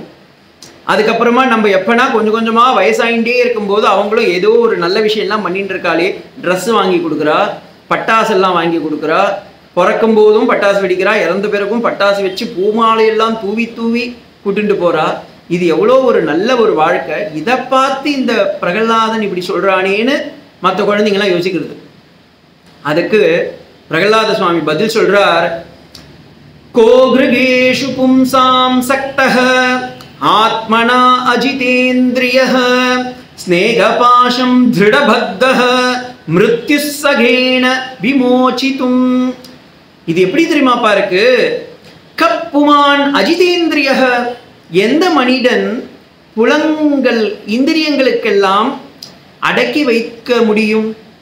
எல்லா இந்திரியங்களுமே வெளியே பார்த்துட்டு இருக்கேப்பா இப்படி எல்லாமே உங்ககிட்டயே உன்வசம் இல்லாதத நீ என்னமோ பெருசா நான் அனுபவிக்கிறேன் நான் அனுபவிக்கிறேன்னு நினைச்சுட்டு இருக்கியே இது எப்படியாப்பட்ட ஒரு முட்டாள்தனம் அப்பா இதே விஷயத்த வேதம் கொஞ்சம் வேறமா ஒரு மாத்தி சொல்லுறது. பராஞ்சிகானி விதரணஸ்வயம்பூ தஸ்மாத் பராங் பஷ்யந்தி ந கஷ்டித் தீரக பிரத்யகாத்மானமைக்ஷித் ஆவருத்த சக்ஷுகு அமிர்தத்வமிச்சன் அப்படின்னு பகவான் இந்த உலகத்தை படைக்கும் போதே எல்லாத்தையும் வெளியே வச்சாரா? பூமி வெளியே தான் இருக்கு. கடல் மடுக்கள் மரங்கள் செடி கொடிகள் எல்லாத்தையும் வெளியே வச்சாரா? மனுஷனை மட்டும் என்ன பண்ணிட்டார்? எல்லாத்தையும் பண்ணிட்டு நீயும் எல்லா இந்திரியங்களையும் வெளியவே நான் படைச்ச உலகத்தை பார்த்துரு. ஆனால் உனக்குள்ளார நான் தான் இருக்கேன் அப்படின்னு அவர் மட்டும் போய் ஹைட் அண்ட் சீக்கில் போய் உட்காந்துட்டார் ஹைட் அண்ட் சீக் விளையாடி பார்த்துருக்கீங்களா? கண்ணாமூச்சி விளையாடுவோம். கண்ணாமூச்சியில் ரொம்ப சுவாரஸ்யமே என்னன்னா யார் விளையாடுறாலோ அந்த பையன் மட்டும் காணாமல் போயிருப்பான். அவன் ரொம்ப தொழிலாம் போயிருக்க மாட்டான். உங்களுக்கு பின்னாடியே தான் எங்கன்னா ஒழிஞ்சுட்டு இருப்பான். ஒரு ஜோக்கில் ஒருத்தர் படி சொன்னது இது எனக்கு. ஒருத்தர் ட்ரெயினில் ரயில் பிரயாணம் பண்ணிட்டு இருக்கா அவர் கை முழுக்க பொட்டி முழுக்க பணங்களை எடுத்துகிட்டு போகிறார் அவர் பார்க்குறாரு இந்த பணத்தை எப்படின்னா பத்திரமான ஒரு இடத்துல வைக்கணுமே வைக்கணுமேன்னு பார்க்குறாரு. எங்கே வச்சா ரொம்ப பத்திரமா இருக்கும்னு சொல்லி அவர் பொட்டி அவர் இருக்கிற அந்த கம்பார்ட்மெண்ட்டில் போய் உட்கார்றாரு. தனக்கு ஆப்போசிட்டில் உட்காந்துட்டு இருக்கவனை பார்க்கும்போதே பார்க்கும்போதே தெரிஞ்சிருத்து ஈஸ் ஃபோர்ஜரி அப்படின்னு. பக்கா திருடுன்னு தெரியுது ஆனால் இப்போ என்ன பண்ணுறதுன்னு தெரியல இந்த பணத்தை. இப்போ எங்கே வச்சாலும் இவன் எடுத்துருவான். இவரும் பார்க்கறதுக்கு க- தன் கையில் இருக்க பணம் இருக்குதுன்னு தெரிஞ்சு போயிடுத்து. என்னென்னமோ பண்ணுறாரு நைட்டு பகல் போறாது ஏன்னா எப்படி ஒரு நாள் முழுக்க பயணம் தொடர்கிறது. எங்கெங்கேயோ வைக்கலான்னு பார்க்குறாரு பாத்ரூம் கூட்டுன்னு போகிறார் இங்கே போகிறார் அங்கே போகிறார் கடைசியில் தலைகணிக்கு பக்கத்துலேயே வச்சுக்கிறாரு. கடைசியில் நினச்சார் இதுக்காக நம்ம தூக்கம்லாம் போகிறது நிம்மதியாக இருக்கணும்னு சொல்லி அவனுடைய பேக்லேயே வச்சுட்டார். இந்த ட்ரெயின் அந்த திருடனும் எல்லா இடத்துலையும் தேர்றான் தேடுறான் தேடுறான் ஒரு இடத்துலையும் கண்டே பிடிக்க முடியல. கடைசியில் அவங்க இறங்க வேண்டிய டெஸ்டினேஷனும் வந்துருத்து இப்போ இந்த திருடனுக்கு ஆர்வம் மிகில் எங்கே எல்லா இடத்துலையும் தேடிட்டேன் எங்கே தான் வச்சான்னு தெரியலையேன்னு சொல்லி இறங்குறதுக்கு முன்னாடி சார் ஒரு நிமிஷம். எனக்கு ஒரே ஒரு சின்ன கேள்வி. நீங்கள் வரும்போது ஒரு பொட்டி எடுத்துன்னு வந்தேன். அந்த பொட்டி முழுக்க பணமோ ஏதோ ஒன்று இருக்குது அது மட்டும் எனக்கு தெரியும். ஏன்னா உங்கள் கண்ணை பார்க்கும்போதே கொஞ்சம் மிரண்டு இருந்தீங்க. அந்த பொட்டியை எங்கே வச்சீங்கன்னு மட்டும் எனக்கு சொல்லுங்க. ஏன்னா ரொம்ப நேரம் நான் தேடினா கண்டே பிடிக்க முடியல. அப்போ உன் பேக்லேயே தான் பாருக்கு இதே மாதிரி தான் பகவான் என்ன பண்ணிட்டார்? எல்லாம் இந்த உலகத்தெல்லாம் படைச்சு விட்டார் படிச்சுட்டு நீங்கள் எங்கன்னா போய் என்ன தேட போறீர்கள் நீங்கள் அங்கே எங்கேயும் தேடாதே காணாமல் போன அறிவிப்புகள்லாம் கொடுத்துடாதே நான் உங்கள் கூடயே தான் இருக்கிறேன்னு சொல்லி நம்ம கூடயே வந்து புரிந்துட்டார் நம்ம என்ன பண்ணுறோம் நம்ம பகவானை நமக்குள்ளார இருக்கிற பகவானை பார்க்குறத தவிர கண்ணு பார்த்தேன்னா வெளியே பார்க்குறது காது பார்த்தேன்னா வெளியே கேட்குறது வாய் பார்த்தேன்னா உள்ளாரையும் போகுது வெளியவும் போகுது. பேசவும் பேசுறது நாக்குக்கு ருசியாக நிறைய நாலஞ்சு நொறுக்கு துணியை எடுத்து வாயில் போட்டுக்கிறது. ஸ்பர்ஷங்களும் பார்த்தீங்கன்னா தொடு உணர்வு எல்லாமே வெளியே தான் இருக்குது அதை சொல்லி வேதம் சொல்றது இது உங்க தப்பு இல்லப்பா மேனுஃபேக்சரிங் டிஃபெக்ட் பகவான் இப்படி படைச்சுட்டான் ஆனால் அவன் உங்க கூடியே தான் இருக்கிறான். கஷ்டித் தீரக பிரத்யேகாத்மானம் ஐக்ஷத்து. யாரோ ஒரு மகாத்மாக்கள் மட்டுமே இதை அனுபவிக்க கத்துக்கிறாங்க. அப்படி அவங்க கத் எப்படி கத்துக்கிறாங்க? எங்க போய் கத்துக்கிறா? எந்த எந்த பகவானை எங்க போய் பார்த்தா? எங்கேயும் போய் பார்க்க தேவையில்லப்பா. தனக்குள் இருக்கும் ஜோதியையே தான் கண்டு உணர்கின்றான். அருட்பெரும் ஜோதியாக. இதுதான் ஸோ இத பிரகலாத சுவாமி சொல்றார் கோ கிருகேஷு பும்சாம். யார் இந்த கிரகத்துல வாழறதுக்கு நமக்கு வேணும்? இது எப்படின்னா பகவான் நம்ம என்ன பண்ணியிருக்கார்? ஜெயிலில் தள்ளியிருக்கார். இந்த பூலோகம்ன்றது ஒரு ஜெயில். நம்ம பண்ற முற்பிறவியுடைய நல்ல கர்மங்கள் தீய கர்மங்களுடைய பலாபலனை நினைத்து குட் டீட் பேட் டீட்ஸ் எல்லாம் வச்சு பகவான் என்ன பண்ணுறா நமக்கு குறைந்தபட்ச தண்டனையாக சேலத்துலேயோ சென்னையிலையோ போட்டு விடுறோம் நம்ம இங்கே வந்துட்டோம்னா நம்ம என்ன பண்ணணும்? நல்ல காரியங்கள்லாம் நம்ம செஞ்சோம்னா என்ன ஆகிடும் ஜெயிலருக்கு ரொம்ப சந்தோஷம் ஆகிடும் யார் அந்த ஜெயிலர்? பகவான் தான். சரி ஓகே. நீங்களும் எவ்வளோ தொலைவு இந்த பூலோகத்துக்கு வந்திருந்தோம் என்ன எப்போ அப்பப்போ கொஞ்சம் நம் நாம சங்கீர்த்தனம் பண்ணுறேன் பாகவதம்லாம் வந்து கேட்குறேன் எல்லாம் பண்ணுறேன் சரி ஓகே உங்களுக்கெல்லாம் காந்தி ஜெயந்தி ஏதாவது மகான்கள் ஜெயந்திலாம் வரும்போது என்ன பண்ணிடுறோம் அந்த தட் அந்த தண்டனையை குறைத்து விட்டு உங்களை விடுவித்து விடுகின்றேன். அப்படி சொல்கிறா பாருங்க. அதே மாதிரி தான் இந்த உலகத்தில். நம்ம எல்லாம் வந்தோம்னா இந்த பூலோகத்தில் பகவானுடைய நாம சங்கீர்த்தனத்தை கேட்டு ஜபம் தியானம் ஞானம் அதெல்லாம் செஞ்சோம்னா என்ன ஆயிடுதுன்னா பகவான் பாப்பார் பரவாயில்ல இவன் நம்ம காலையே பிடிச்சுட்டு இருக்கான். வேற வழியே இல்லை. இவனுக்கும் யாரும் கிடையாது. அப்ப நம்ம தான் காத்து தீரணும். சரின்னு சொல்லி குறைந்தபட்ச தண்டனையா சீக்கிரமா கூட்டிட்டு போயிடுவான். கூட்டிட்டு போயிட்டா அட்லீஸ்ட் அவன் கூடயே இருக்கலாம். இது சொல்றார் ஸ்நேக பாஷம். வந்த முதல் நாள்ல இருந்து நமக்கு பாஷம் தானப்பா இருக்கு. பாஷம்னா திருடமான பாஷம். இல்லாத ஒண்ணுத்த கையில பிடிச்சி இப்ப நான் சொல்றேன். சார் இங்க கயிறு இருக்கு சார். நான் பிடிச்சிட்டு ஏறுறேன் சார்னு சொன்னா நீங்க என்ன சொல்லுவீங்க சுவாமி எங்க கயிறு இருக்கு? உங்களுக்கு கண்ணு தான் மூளை தான் சரியில்லைன்னு நினைச்சா கண்ணு கூட சரியில்லையான்னு கேட்பேன் அதே மாதிரி தான் நம்மளும் முதல்ல யார் பாசத்தை பிடிக்கிறோம்னா அம்மா. எங்க சுவாமி? அம்மான்றவங்க நீங்க இப்படிலாம் சொல்லலாமா அம்மா தானே எனக்கு எல்லாமே அப்படின்னு வேறு. அம்மா நம்மளுடைய வாழ்நாள் முழுக்க வர முடியுமா சொல்லுங்க? இப்போ ஒரு பெரிய ஒரு மரம் இருக்குது அந்த மரம் வளருது. அந்த மலம் மரம் வளர்ந்த பிறகு அதுலேருந்து ஒரு விதை வளருது. அந்த மரத்துக்கு கீழவே அந்த விதை வளருமா? வளராது. அதனால பகவான் என்ன பண்ணிடுறான்? இயற்கையிலேயே பாருங்க பறவைகள் எல்லாம் வச்சுட்டு அந்த விதையை எடுத்துட்டு போய் வெளியே போட சொல்லுவான். அந்த மரத்துக்கே போட வளராது முளைக்கும் அழுகிடும். அப்ப என்ன ஆகும்? பக்கத்துல வேற எங்கன்னா ஒரு பத்தடி தள்ளி விழுந்ததுன்னா நல்லா புஷ்பித்து காய்த்து கனி கொடுக்கும். மாமரமே அப்படிதான் இருக்கு. இதையே பகவான் நம்ம வாழ்க்கையிலையும் காமிக்கிறான். ஒரு அறுபது வயசு ஒரு எண்பது வயசு அட்மோஸ்ட் தொண்ணூறு வயசு. பகவான் என்ன பண்ணுறான் நமக்கு வாழ்க்கையை கொடுக்குறான். அதுக்கப்புறமா என்ன பண்ணிடுறான் அம்மா முதல் கிஃப்டை எடுத்துட்டேன். அடுத்தது அப்பா அடுத்த கிஃப்ட்டை எடுத்துட்டேன். அடுத்தது கொஞ்ச நாள் போனவுடனே மனைவி அந்த கிஃப்ட்டை எடுத்துட்டேன். அதுக்கப்புறமா குழந்தைகள்லாம் நீங்கள் வச்சுருக்கீங்க நீ கிஃப்ட்டை எடுக்க மாட்டேன். எனக்கு நல்லா தெரியும். அவங்கள விட்டு எடுக்க சொல்லிடுறேன்றான். வாலண்டியர் ரிட்டையர்மெண்ட் அவன் கொடுத்துட்றான் நமக்கு. ஒன்று பையன் விதேசத்துக்கு வேலைக்கு போயிடுவான். இல்லைன்னா பின்னாடி சொல்ல போகிறார் அதை நான் அப்படியே சே- சேர்த்து சொல்லிடுறேன். அவர் சொல்கிறார் கதம் பிரியாகா. இவங்கெல்லாம் என்ன பண்ணிடுவா? கிரகஸ்தில் இருக்கும்போது ஒரு மந்திரம் போடுவாப்பா. பாருங்க பிரகலாத சுவாமி சொல்கிறார் நான் சொல்லலை சத்தியமாக நீங்கள் என்ன என்ன என்ன தப்பா நினச்சக்கூடாது பிரகலாத சுவாமி சொல்கிறார் அவெல்லாம் கிரகத்தில் இருக்கும்போது ஒரு மந்திரம் போடுவா. வீட்டில் உன் அப்பா அம்மா எவ்வளோ கஷ்டப்பட்டு ரத்தம் சிந்தி வேர்வை சிந்தி வளர்க்கின்றார்கள். நீ கரெக்டாக கொஞ்ச நாள் பொறுத்து கிரகத்துக்கு கிரகஸ்தாசிரமத்துக்கு வரும்போது அங்கே என்ன ஆகும்? இன்னொரு ஒரு பெரிய பாச கயிறு. நீ போடுற பாரு ஒரு கயிறு அந்த கயிறு இல்லை. அவ உனக்கு ஒரு பாச கயிறை போடுவா. அந்த பாச கயிறு எப்படியாப்பட்டதுன்னா மந்திரம். என்ன மந்திரம்? அதுக்கு ஸ்ரீ ஸ்ரீதர சுவாமின்றவர் பகவத் பாகவதத்துக்கு வியாக்கியானம் எழுதியிருக்கார். அவர் சொல்கிற தலையணை மந்திரம். அவள் சொல்லுவாளாம் உங்கள் வீட்டு அப்பா அம்மா எப்போ பார்த்தாலும் இங்கே தான் இருக்கா? அவளுக்கெல்லாம் ஏதாவது ஒன்று எப்போ பார்த்தாலும் நீங்கள் ட்ரெஸ் எடுத்து கொடுத்துட்டுருக்கீங்க இருக்கீங்க மாதம் ஏதோ கொடுத்துட்டுருக்கீங்க. வேறு வேலையே இல்லையா? நீங்கள் எங்கள் குடும்பத்தை பார்க்கறது வந்தீங்களா இல்லை உங்கள் அப்பா அம்மாவை பார்க்கறதுக்கு வந்திருக்கீங்களா அப்படின்னு கேட்பா. உடனே இவர் என்ன சொல்லு ஆமாம்மா இனிமேல் நீ தான் எனக்கு எல்லாமே அப்படின்னு சொல்லி உடனே அப்பா அம்மாவை மறக்கடிச்சுடுவா ஆனால் அதே அவா வீட்டில் இருந்து யாருன்னா அம்மா அப்பா வரானா என்ன பண்ணுவா? என்னைக்கோ ஒரு நாள் தான் எங்கள் அம்மா அப்பா வரா. அவங்களுக்காக நீங்கள் ஆஃபீஸ் வேலையை நிறுத்த மாட்டீங்களா அவங்களுக்காக போய் காய்கறி வாங்கிட்டு வர மாட்டீங்களா? அவங்களுக்காக ஏதாவது இந்த வேலையை பண்ணி என்ன சுவாமி இவ்வளோ எக்ஸ்பீரியன்ஸானு கேட்டுறாரு நமக்கு அதுக்கும் சம்மந்தமே இல்லை. இருக்கிறது நான் சொல்கிறேன் ஸோ அப்படியே மாத்திடுவா. யார் நமக்கு நம்மை இந்த உலகத்திற்கு எடுத்து வந்தார்களோ அவங்களையே இந்த உலகத்தில் மறக்கடிச்சுட்டு புதுசா யார் வந்திருக்காளோ அவங்க மேல பாசத்தை கொடுக்குறாங்க. அது உண்மையான பாசமா? அந்த அம்மா அப்பாவுக்கு பெண் தான் பிடிக்கும். இப்ப பையன்னா இந்த பக்கம் மாத்திக்கோங்க. ஆனா இவர் என்ன நினைச்சுப்பாங்க? தனக்கு இல்லாதவர்களை தன் சொந்தமாக நினைத்துக் கொள்கிறார்கள். இதுதான் இல்லாத ஒண்ணுத்த இருக்கிறதா நினைக்கிறது. இத மாதிரி ஒரு மாயா எங்கன்னா இருக்காப்பா? அப்படின்னு கேட்கிறார் மோகமுச்சதி. விமோகம். மோகம்னா மோகம்னாவே வந்து மாயா. மாயான்னதுக்கு சங்கர பகவத்பாதால் கொடுக்கிற எக்ஸாம்பிள் என்னன்னா யாமா சா மாயா யா. என்றால் எது? மா என்றால் இல்லை. சா அப்படின்னா அப்படியாப்பட்டவள். எது இல்லையோ அதற்கு பெயர் மாயை. சாமி இல்லதுன்றதுக்கு என்ன சுவாமின்னா இப்ப இங்க இருக்கு ஆனா இல்லை அப்படின்ற. நீங்க சொல்லுவீங்க என்ன சாமி இருக்கா இல்லையா? இருக்குப்பா ஆனா அது இல்லப்பா.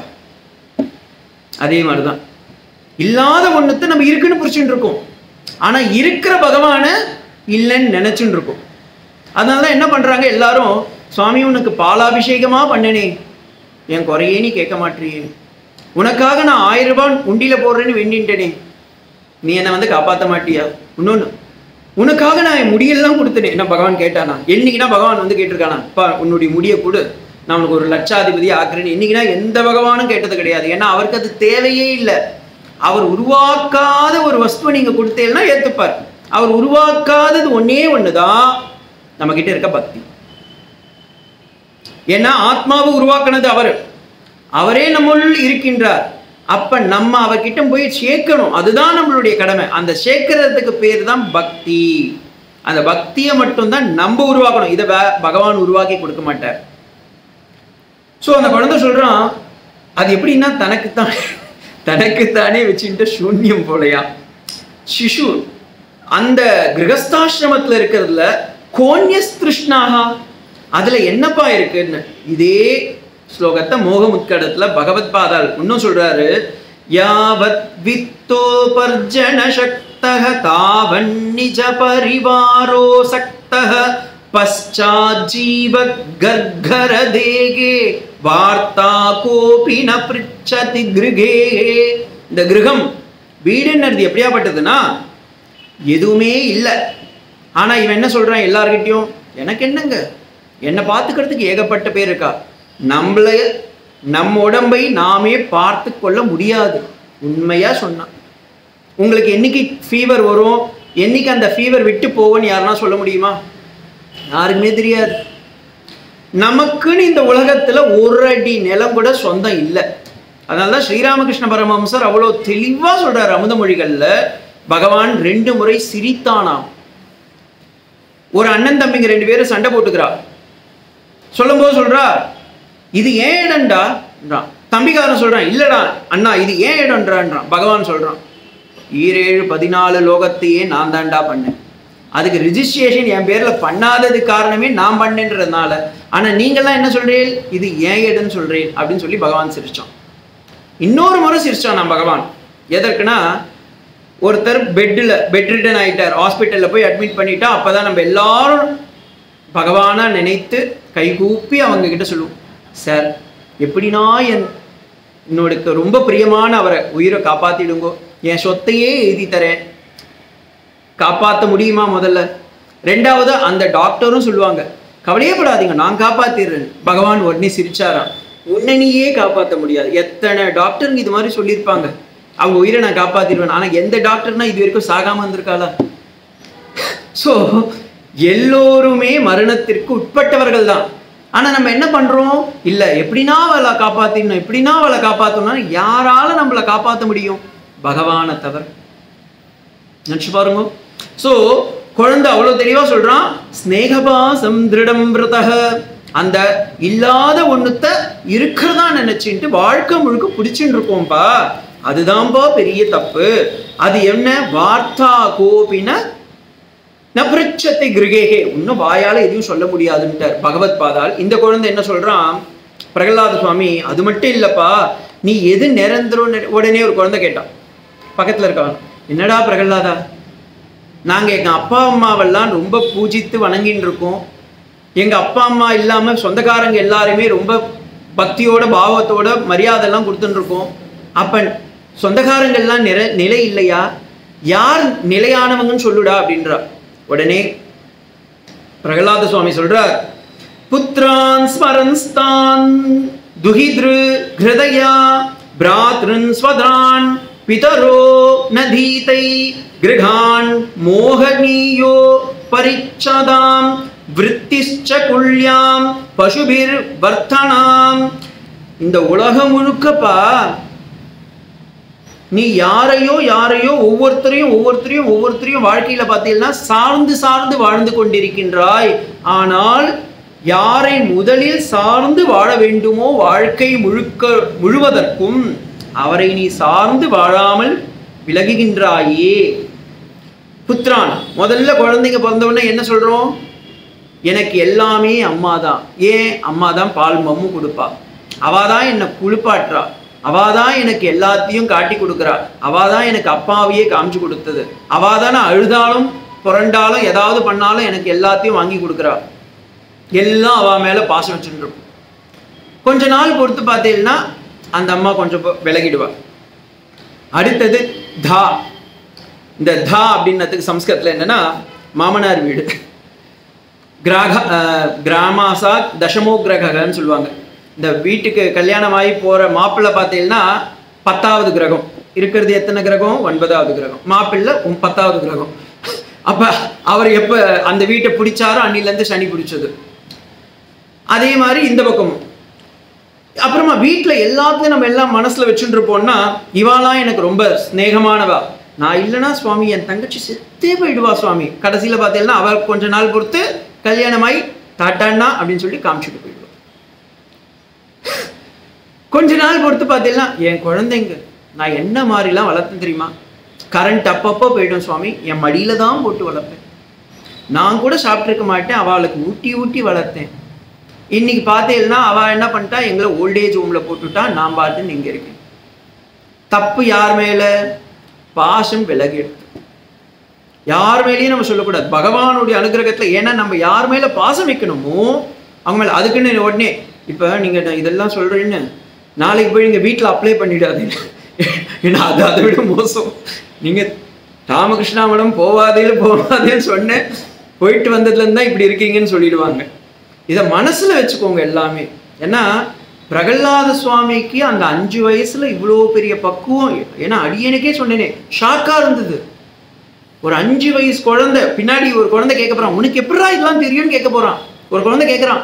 அதுக்கு பிரகலாத சுவாமி சொல்கிற பகவானுடைய அனுகிரகத்தில் இதெல்லாம் தெரிஞ்சிருத்தப்பா அப்படின்றான். இதெல்லாம் தெரிஞ்சுக்கிறது தப்பு இல்லை அப்ளை பண்ணுறது அப்புறமா டைம் வரும்போது வேணால் அப்ளை பண்ணிக்கோங்க. ஆனால் இப்போதைக்கு அப்ளை பண்ணாது. எதை நம்ம சொந்தம்னு நினைச்சுட்டு இருக்கோமோ அதுக்கு நாமெல்லாம் சொந்தம்னு நினைக்க வேண்டாம்னு சொல்லல. அம்மா கண்டிப்பா வேணும். ஏன்னா வேதமே சொல்லியிருக்கே மாத்திரு தேவோபவ பித்ருதேவோபவ ஆச்சாரிய தேவோபவ அதிதி தேவோபவன்னு வேதமே சொல்லறதப்பா அப்ப அவங்கெல்லாம் நீ எப்படி மறுக்க முடியும் அப்படின்னா மறுக்க வேண்டாம் அவர்களை இறைவனாக மதிக்க கற்றுக்கொள்ளுங்கள். இப்ப நான் அம்மா வேண்டாம்னு சொல்லல. அந்த அம்மா யாரு? அதனால தான் வேதம் அவ்வளோ பியூட்டிஃபுல்லாக சொல்லுறது. வேதத்திற்கே இறைவன்ற சாமீபம் கொடுத்தது வேத மந்திரங்கள். ஆனால் அந்த வேதமே சொல்லுறது அம்மா பெண்கள் எப்பொழுதுமே பூரணமாக அஷ்டாங்கத்தில் நமஸ்காரம் பண்ணக்கூடாது. ஆண்கள் தான் எட்டு அங்கங்களும் பூமியில் படுமாறு நமஸ்காரம் செய்யணும். பெண்கள் செய்யக்கூடாது. ஏன்? அப்படின்னா வேதம் சொல்றது அவர்கள் கர்ப்பத்தை தாங்கும் பொக்கிஷத்தை கொடுத்துருக்கேன். உலகத்தையே நான் எப்படி உருவாக்கினேனோ அதர் அதை போல அவர்கள் இந்த வாரிசுக்களை உருவாக்குவதனால் எனக்கு சமானம்னு வேதம் சொல்றது அப்போ அவங்க என்ன? அவங்களுடைய கர்ப்பம் அந்த உதரம் வயிறு பூமியில படக்கூடாது. அதனால தான் அவங்க எப்போ எப்போவுமே பார்த்தீங்கன்னா இந்த கோவில்லெல்லாம் போனீங்கன்னா நமஸ்காரம் பண்ணுற இடத்துல போய் பார்த்தீங்கன்னா ஆண்கள் அப்படியே அஷ்டாங்கமாக இருப்பாங்க. யதா மான தண்டபத்தை அப்படியே பரிபூர்ணமாக ஃபுல்லாக நமஸ்காரம் பண்ணணும். பெண்கள் அப்படி பண்ணக்கூடாது. ஆண்கள் வேணால் அப்படி வேணா குனிஞ்சு எழுந்துக்கலாம். ஆனால் பெண்கள் பூரணமாக பண்ணக்கூடாதுன்னு போட்டிருக்கு. ஏன்? அவங்களுக்கு அந்த அளவுக்கு தாய் உரிமை வணங்கி இருக்கு வேதமே கொடுத்துருக்கு. இது எது பரியந்தம்னா பகவானை விடுங்க. சந்நியாசிகள் உலகத்தாரில் கிரகஸ்தாரங்க காலில் விழக்கூடாது. ஆனால் வேதமே சொல்லுறது நீ சந்நியாசியாக ஆகினாலும் உன் தாயிடம் போய் நீ நமஸ்காரம் செய்யணும்ப்பா சன்னியாசி தானேப்பா அவன் வேதத்தெல்லாம் படித்தவன் ஆத்ம சாட்சா்காரம் வந்தவன் அப்புறமா பகவானுடைய பூர்ண கடாட்சத்துக்கு ஆளானவன். கிடையாது போய் உன்னுடைய தாயிடம் நீ நமஸ்காரம் செய்ய வேண்டும். ஏன்? அது வேதத்துடைய விதிவிலக்கு. நீங்கள் போய் பார்த்தீங்கன்னா சுங்கேரி மகா சுவாமிகளாகட்டும் உடுப்பியில் இப்போ இருக்கிற சுவாமிகளாகட்டும் அவங்க அம்மா வரும்போது பார்த்தீங்கன்னா இறங்கிடுவா. இறங்கி போய் நமஸ்காரம் பண்ணிட்டு வரும் ஊரே அவர் காலில் விழுவும் அவர் போய் அவங்க அம்மா காலில் விழுவா. அதுதான் வேதத்தில் இருக்கிற விதி விலக்கு ஸோ அப்போ நம்ம மரியாதை கொடுக்க வேண்டாம்னு இல்லை மரியாதை கொடுங்கள். ஆனால் அதே நேரத்தில் அவங்க பகவானாக பார்க்க கற்றுக்கொள்ளுங்கள். அப்போ என்ன ஆயிடுத்து? வந்தார்கள் பகவான் நமக்கு அனுகிரகம் பண்ணால் அந்த அனுகிர பகவான் நம்ம கூடிய இருப்பாரா நினச்சி பாருங்க. இப்போ நீங்கள் எல்லாம் பிரார்த்தனை பண்ணுறேன் உட்காந்து எல்லாம் நாம சங்கீர்த்தனம் பண்ணிகிட்டே இருக்கேன். திடீர்னு பகவான் வரான். வந்து எவ்வளோ நேரம் இருப்பான்? பத்து நிமிஷம்? பதினஞ்சு நிமிஷம்? ஒன் ஹவர் மேக்ஸிமம் அதுக்கப்புறம் நீங்களே சொல்லுங்கள் சுவாமி கிளம்புறையில நாங்கள் என்ன வீட்டுக்கு திருப்பி ஆற்று கிளம்பணும். இப்போ நான் சொல்கிறேன் உபன்யாசம் கொடுத்துட்டே இருக்கேன். நீங்கள் என்ன சொல்லுவீங்க? கொஞ்சம் நேரம் பொறுத்து அப்படி பார்ப்பேன். என்ன இவரை முடிக்கிற மாதிரி தெரியல. டைம் ஆகிட்டே இருக்கு. அப்போ கொஞ்சம் நேரம் ஒருத்த கொடுத்தா அம்மா பாடிடுவாங்க. சுவாமி நீங்கள் முடிக்கிறீங்களா? இல்லை நாங்கள் முடிச்சிடுவோம்? அப்படின்னு ஏன்? நமக்கு அந்த அளவுக்கு ஒன்றும் பக்குவம் வரவில்லை. அதான் உண்மை. ஏன்னா we are subject to time space causation இது நான் நான் சொல்லல. சுவாமி விவேகானந்தர் சொல்றார். We are subject to time space causation இடம் பொருள் ஏவல். இது மூன்றுக்கும் நாம் அடிமைப்பட்டவர்கள். ஆனால் பகவான் அப்படி இல்லை. அதனால பகவான் என்ன பண்ணுவார்? மோஸ்ட்லி கலியுகத்தில் வந்தா காட்சி கொடுத்து அட- டப்பால்னு போயிடுவார். பார்க்குறீங்களா? வந்து இரண்யகஷ்மிக்கு அப்படி தானே பண்ணார். பிரம்மா வந்தார் காட்சி கொடுத்தார் இவன் கேட்டதுக்கு ததாசுன்னு சொல்லிட்டு ஓடி போயிட்டார். ஏன்னா ரொம்ப நேரம் இருந்தால் இவன் டெஸ்ட் பண்ணுவான். என்ன மாதிரி யாருன்னா இருக்காளா அப்படின்னு சொல்லி. ஸோ இந்த உலகத்திற்கு நாம் எதற்கு வந்தோமோ அதை மறந்துவிட்டு பகவானை இறை ரூபத்தில் மனித ரூபத்தில் பார்ப்பதை மறந்துவிட்டு நம்ம என்ன பண்ணிடுறோம்? மனுஷனாக பார்க்குறோம். அப்பதான் என்ன ஆயிடுது? அந்த பாசத்துக்கு நம்ம அலம்பிடுறோம். அப்போ என்ன ஆயிடுது? கொஞ்ச நாள் பொறுத்து ஐயோ என் கூட எங்கள் அம்மா இருந்தா. ரொம்ப நாள் நன்னா இருந்தா பாருங்க போய் சேர்ந்துட்டா. சில பேருக்கு அந்த ஒரு பாசம் இருக்கும். எனக்கு தெரிஞ்ச நிறைய நண்பர்கள் சொல்லுவாங்க எங்க அம்மா என் கூடயே இருந்தா சுவாமி அவ விட்டுட்டு போயிட்டா சுவாமி. அம்மா வந்தாங்க ஆனா நீ அவங்கள கடவுளா நினைச்சிருந்தனா வந்தா போயிட்டார் அவ்வளவுதான். அப்ப எங்க இருக்காங்க? அம்மா இல்லாத இடம் எங்க இருக்கு? அம்மா எல்லா இடத்துலயும் இருக்காளே. தா- தந்தையும் அப்ப எல்லா இடத்துலயும் இருக்காளே. நமக்கு அப்போ உலகத்துல யாருன்னா நமக்கு சொந்தக்காரங்களே இல்லைன்னா இந்த சன்னியாசிகள்லாம் என்ன பண்ணுவோம் அதுக்கு தான் அவங்க என்ன பண்ணிடுவாங்க? லோகமே எனக்கு சகோதரர்கள் தான். அதை தான் சுவாமி விவேகானந்தர் சிகாகோ மாநாட்டில் தெளிவாக உணர்ந்து சொன்னார். Sisters and brothers of America சகோதர சகோதரிகள் ஏன்னா இந்த உலகமே எனக்கு சொந்தக்காரங்க தானேப்பா. நான் யாரை வந்து வெறுக்க முடியும்? யாரை நான் வந்து விருப்பு காட்ட முடியும்? எல்லாருமே எனக்கு சொந்தக்காரங்க தானே. அப்படின்ற எண்ணம் வந்துடும் அதனால தான் வேத மந்திரத்திலையும் அந்த ம- வார்த்தையை யூஸ் பண்ணுறோம் லோகா சமஸ்தா சுகினோ பவந்து. சர்வே பவந்து சுகினக. சர்வே சந்து நிராமையா. எல்லாரும் நன்னா இருக்கட்டும். ஏன்? எல்லாரும் நன்னா இருக்கானா? எல்லாருமே என் சொந்தக்காரங்க தானே. அப்படின்ற எண்ணம் வரும். இதை சொல்லி குழந்தை சொல்றான் கிரகஸ்தம் மனு. எல்லாம் மனசு தான்ப்பா காரணம். மனசுல தான் இவ்வளோ இருக்கு அப்படின்றார் இதுக்கு சங்கர பகவத் பாதால் மோக சொல்லும்போது மா குரு தன ஜன யௌவன கர்ப்பம் ஹரசி நிமேஷாத் கால சர்வம் மாயாமயமிதமகிலம் ஹித்வா பிரம்மபதம் துவம் பிரவிஷே விதித்வா. இந்த உலகமே பார்த்தீங்கன்னா தனம். எனக்கு நிறைய செல்வந்தோம் நான் நிறைய செல்வம் வச்சுருக்கேன். மா குரு தன ஜன எவ்வன கர்ப்பம். நிறைய பேர் பார்த்தீங்கன்னா எனக்கு என்ன சார் நான் இன்கம் டேக்ஸே அஞ்சு லட்சம் பே பண்ணுறேன் சார் நீங்கள் சாகும்போது அந்த பணத்தில் ஒத்த பைசா கூட நம்ம எடுத்துகிட்டு போக முடியாது. நினச்சி பாருங்க. நெத்தியில் வைக்கிற காசை கூட வெட்டியாக எடுத்து தூக்கி வச்சு பேக்கெட்டில் போட்டுப்போம். அப்போ உள்ளார போகும்போது பூமிக்கு அடியில் போனாலும் சரி நெருப்பில் வச்சு சுட்டாலும் சரி நம்ம எவ்வளவு காம்ப்ளாண்ட் ஹார்லிக்ஸ்லாம் குடித்து உடம்பாக இருந்தாலும் சரி தங்க பஸ்பமே சாப்பிட்டாலும் இருந்தும் சரி எதையும் அவன் இல்லை சார் இவங்க தங்க பஸ்பம்லாம் சாப்பிட்ருக்கா சார் ஹார்லிக்ஸா வாங்கி கொடுத்தேன் சார் அப்படின்னா ஒன்றும் இல்லை சார் நீங்கள் கொடுங்க. அப்படின்றதுக்குள்ளார உங்களுக்கு பஸ்பமாக அப்படி கொடுத்துட்றேன் அப்படின்னு ஸோ தனம் எவ்வனம் நிறைய பேருக்கு பார்த்தீங்கன்னா நான் பாருங்க சின்ன வயசுல இருந்தே அப்படியே பியூட்டியா இருக்கிறேன். கொஞ்சம் கூட நான் வயசே ஆக மாட்டேன். அப்படின்னா பகவான் சொல்லுவான் கடவுள்படாதப்பா காலம் கொஞ்சம் கொஞ்சமா மாறின பிறகு கொஞ்சமாக ஒயிட் பேச்சஸ் கொடுப்பான் அப்புறமா ஒரு ரிங்கிள்ஸ் கொடுப்பான் அப்புறமா ஒரு பிளாக் மார்க்ஸ் கொடுப்பான் அதுக்கப்புறமா நம்ம அதெல்லாம் மறைக்கிறதுக்கு ஏகப்பட்ட கோட்டிங் கொடுப்போம். பகவான் என்ன சொல்லுவான்? அவனுக்கும் நமக்கும் ஒரு பெரிய காம்படிஷன் கடைசியில் அவன் தான் ஜெயிச்சுடுவான் நம்ம என்ன பண்ணுவோம்? தூத்து போயிடுவோம். மா செல்வம் தனம் வந்துருது எவ்வனம் வயசு. நான் எப்பவுமே இளமையில் யாருன்னா இந்த உலகத்தில் இருந்திருக்காளா? மார்க்கண்டேயர் நித்தியம் பதினாறு. ஆனால் யாருன்னா போய் பார்த்துருக்கீங்களா அதனால தான் அவர் என்ன பண்ணிட்டார்? நீங்கள் யாருன்னா என்ன போய் பார்க்க போகிறீங்கன்னு சூக்ம சரீரத்துக்கு போயிட்டார். ஏன்னா இந்த ஸ்தூல சரீரத்தோட காஸ் ப்ராடியோட வந்தோம்னா எல்லாம் அவர்கிட்ட போய் என்ன தெரியுமா பண்ணுவோம்? சார் நீங்கள் எந்த சோப் யூஸ் பண்ணுறீங்க என்ன மாத்திரை போடுறீங்க எப்போ பார்த்தாலும் இளமையாக இருக்கீங்க அவருடைய இளமையுடைய ரகசியம் என்ன பகவானுடைய நாமத்தை சொல்லிகிட்டே இருக்கார். அதனால இளமையாக இருக்கார். அதனால தான் பகவானுக்கே தொண்டனாக ஆயிட்டார் அவர். தனம் எவ்வனம் கர்ப்பம் இதெல்லாம் பெரிய கர்வம் இருக்கு. இதெல்லாம் நான் வச்சுருக்கேன் அப்படின்னு. ஆனா ஹரசி நிமேஷா.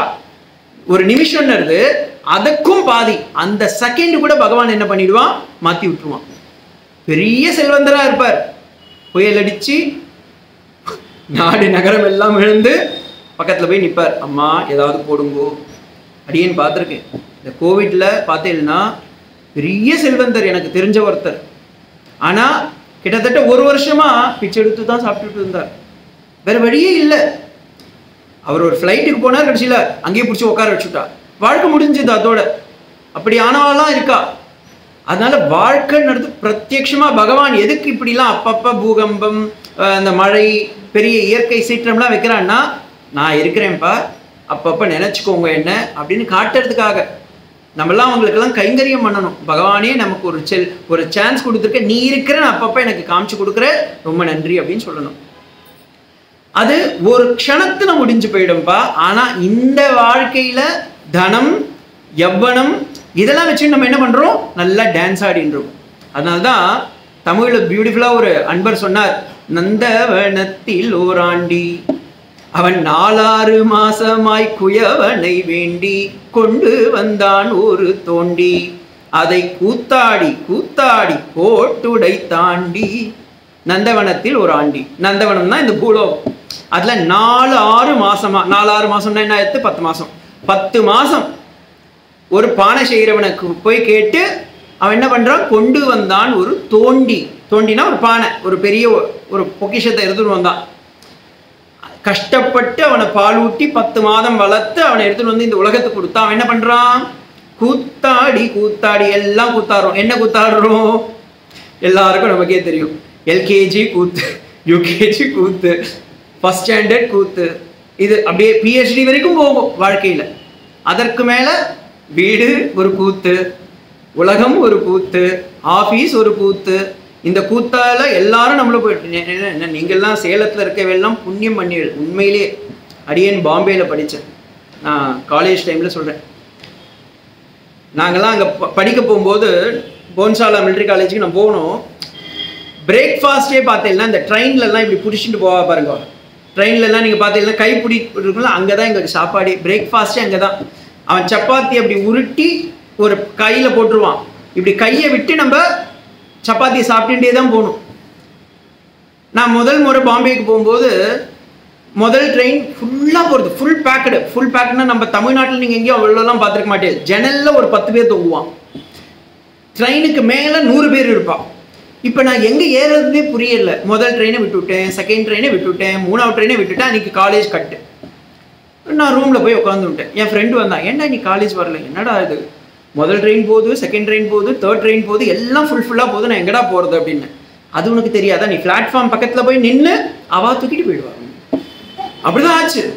மறுநாள் போய் நின்று அவா தூக்கிட்டு போயிட்டா உள்ளார. அவளே வந்து இறக்கி விட்டுட்டா. ஸோ அவ்வளோ கூட்டம். எங்கே தான் போகிறான்னு எங்கேயுமே தெரியாது. எதுக்கு தான் போகிறான்னு ஒன்றுமே புரியாது. நீங்கள் சென்னையெல்லாம் தான் தெரியும். நீங்கள் பாம்பே விடுங்க. இப்போ சென்னையே அப்படி தான் இருக்குது நிறைய இடத்துல சேலம்லாம் நான் அந்தளவுக்கு பார்க்கல இன்னும். அப்படியே உள்ளார அவளே பொட்டி அப்படியே ஃபுல்லாக பேக் பண்ணுவோம் அதுக்கு நடுவில் கண்டக்டர் பஸ்ஸில் சொல்லுவான் ஏன் சார் கடல் மாதிரி இடம் இருக்கே சார் எங்கே சார் இருக்கு? கொசு கூட கிடையாது இங்கே உள்ளார போகாது. இவன் கடல் மாதிரி இடம் இருக்குன்னுவா? அதான் நந்தவனத்தில் ஒரு ஆண்டி. கூத்தாடி கூத்தாடி நம்ம என்ன பண்ணிட்டு இருக்கோம்? எதுக்கு போகிறோன்றதே தெரியாமல் யாருக்காக உழைக்கிறோம் என்பதே தெரியாமல் எதற்காக வாழ்கின்றோம் என்பதே புரியாமல் எதற்காக இந்த பூவுலகத்திற்கு வந்தோம் என்றே தெரியாமல் வாழ்க்கையை வாழ்ந்துட்டுருக்கோமே இருக்கோமே வாழ்க்கை. அதற்கு நடுவில் சனிக்கிழமானா எப்படியோ ஆரத்தி முடித்து நீங்களும் ஏதோ நல்ல வார்த்தை நான் சொல்ல மாட்டேன்னு வந்து உட்காந்துட்டு அப்போ நீங்கள் எவ்வளோ புனிதமானவங்க புண்ணியம் பட்டவங்க சொல்லுங்க. ஸோ இதை சொல்லி சொல்கிறார் இதை அலௌகிகம்ப்பா இதில் ஒரு இதுவே கிடையாதப்பா இந்த மாதிரி இருக்கிற வாழ்க்கையா நமக்கு தேவை? இதில் உனக்கு ராகம் வரவில்லையா? தமிழில் ராகம் இல்லை இது. சம்ஸ்கிருத ராகம். சம்ஸ்கிருதத்தில் ராகம் என்றால் விரக்தி. இதில் உனக்கு வெறுப்பு தட்டலையாப்பா?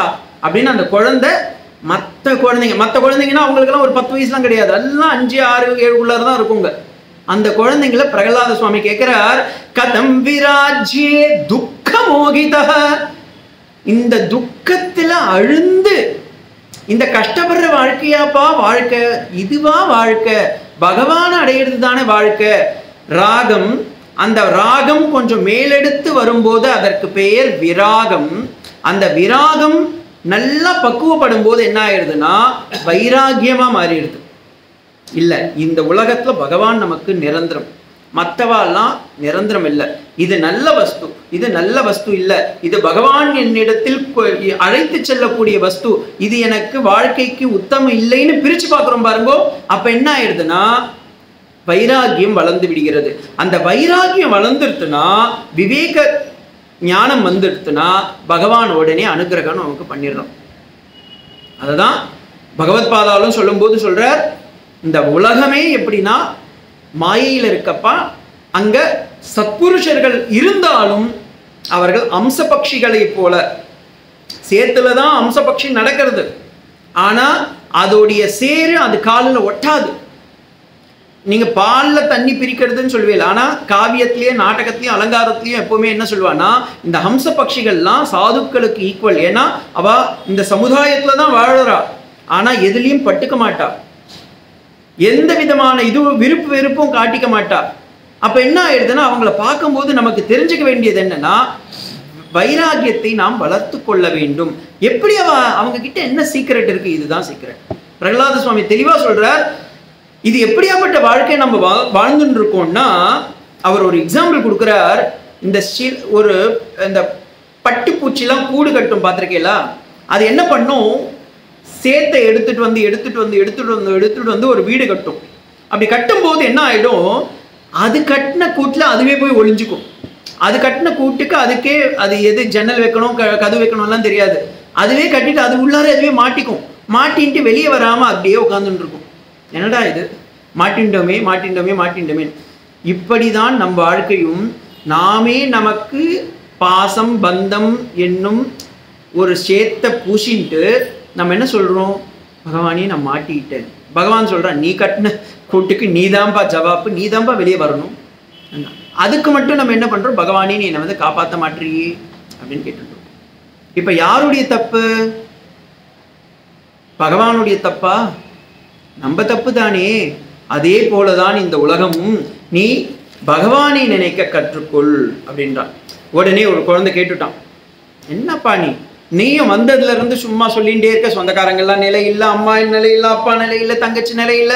எல்லாம் நிலையிலே நிலையிலேன்றியே அப்ப யாரிடம் நாங்கள் அன்பு காட்ட வேண்டும்?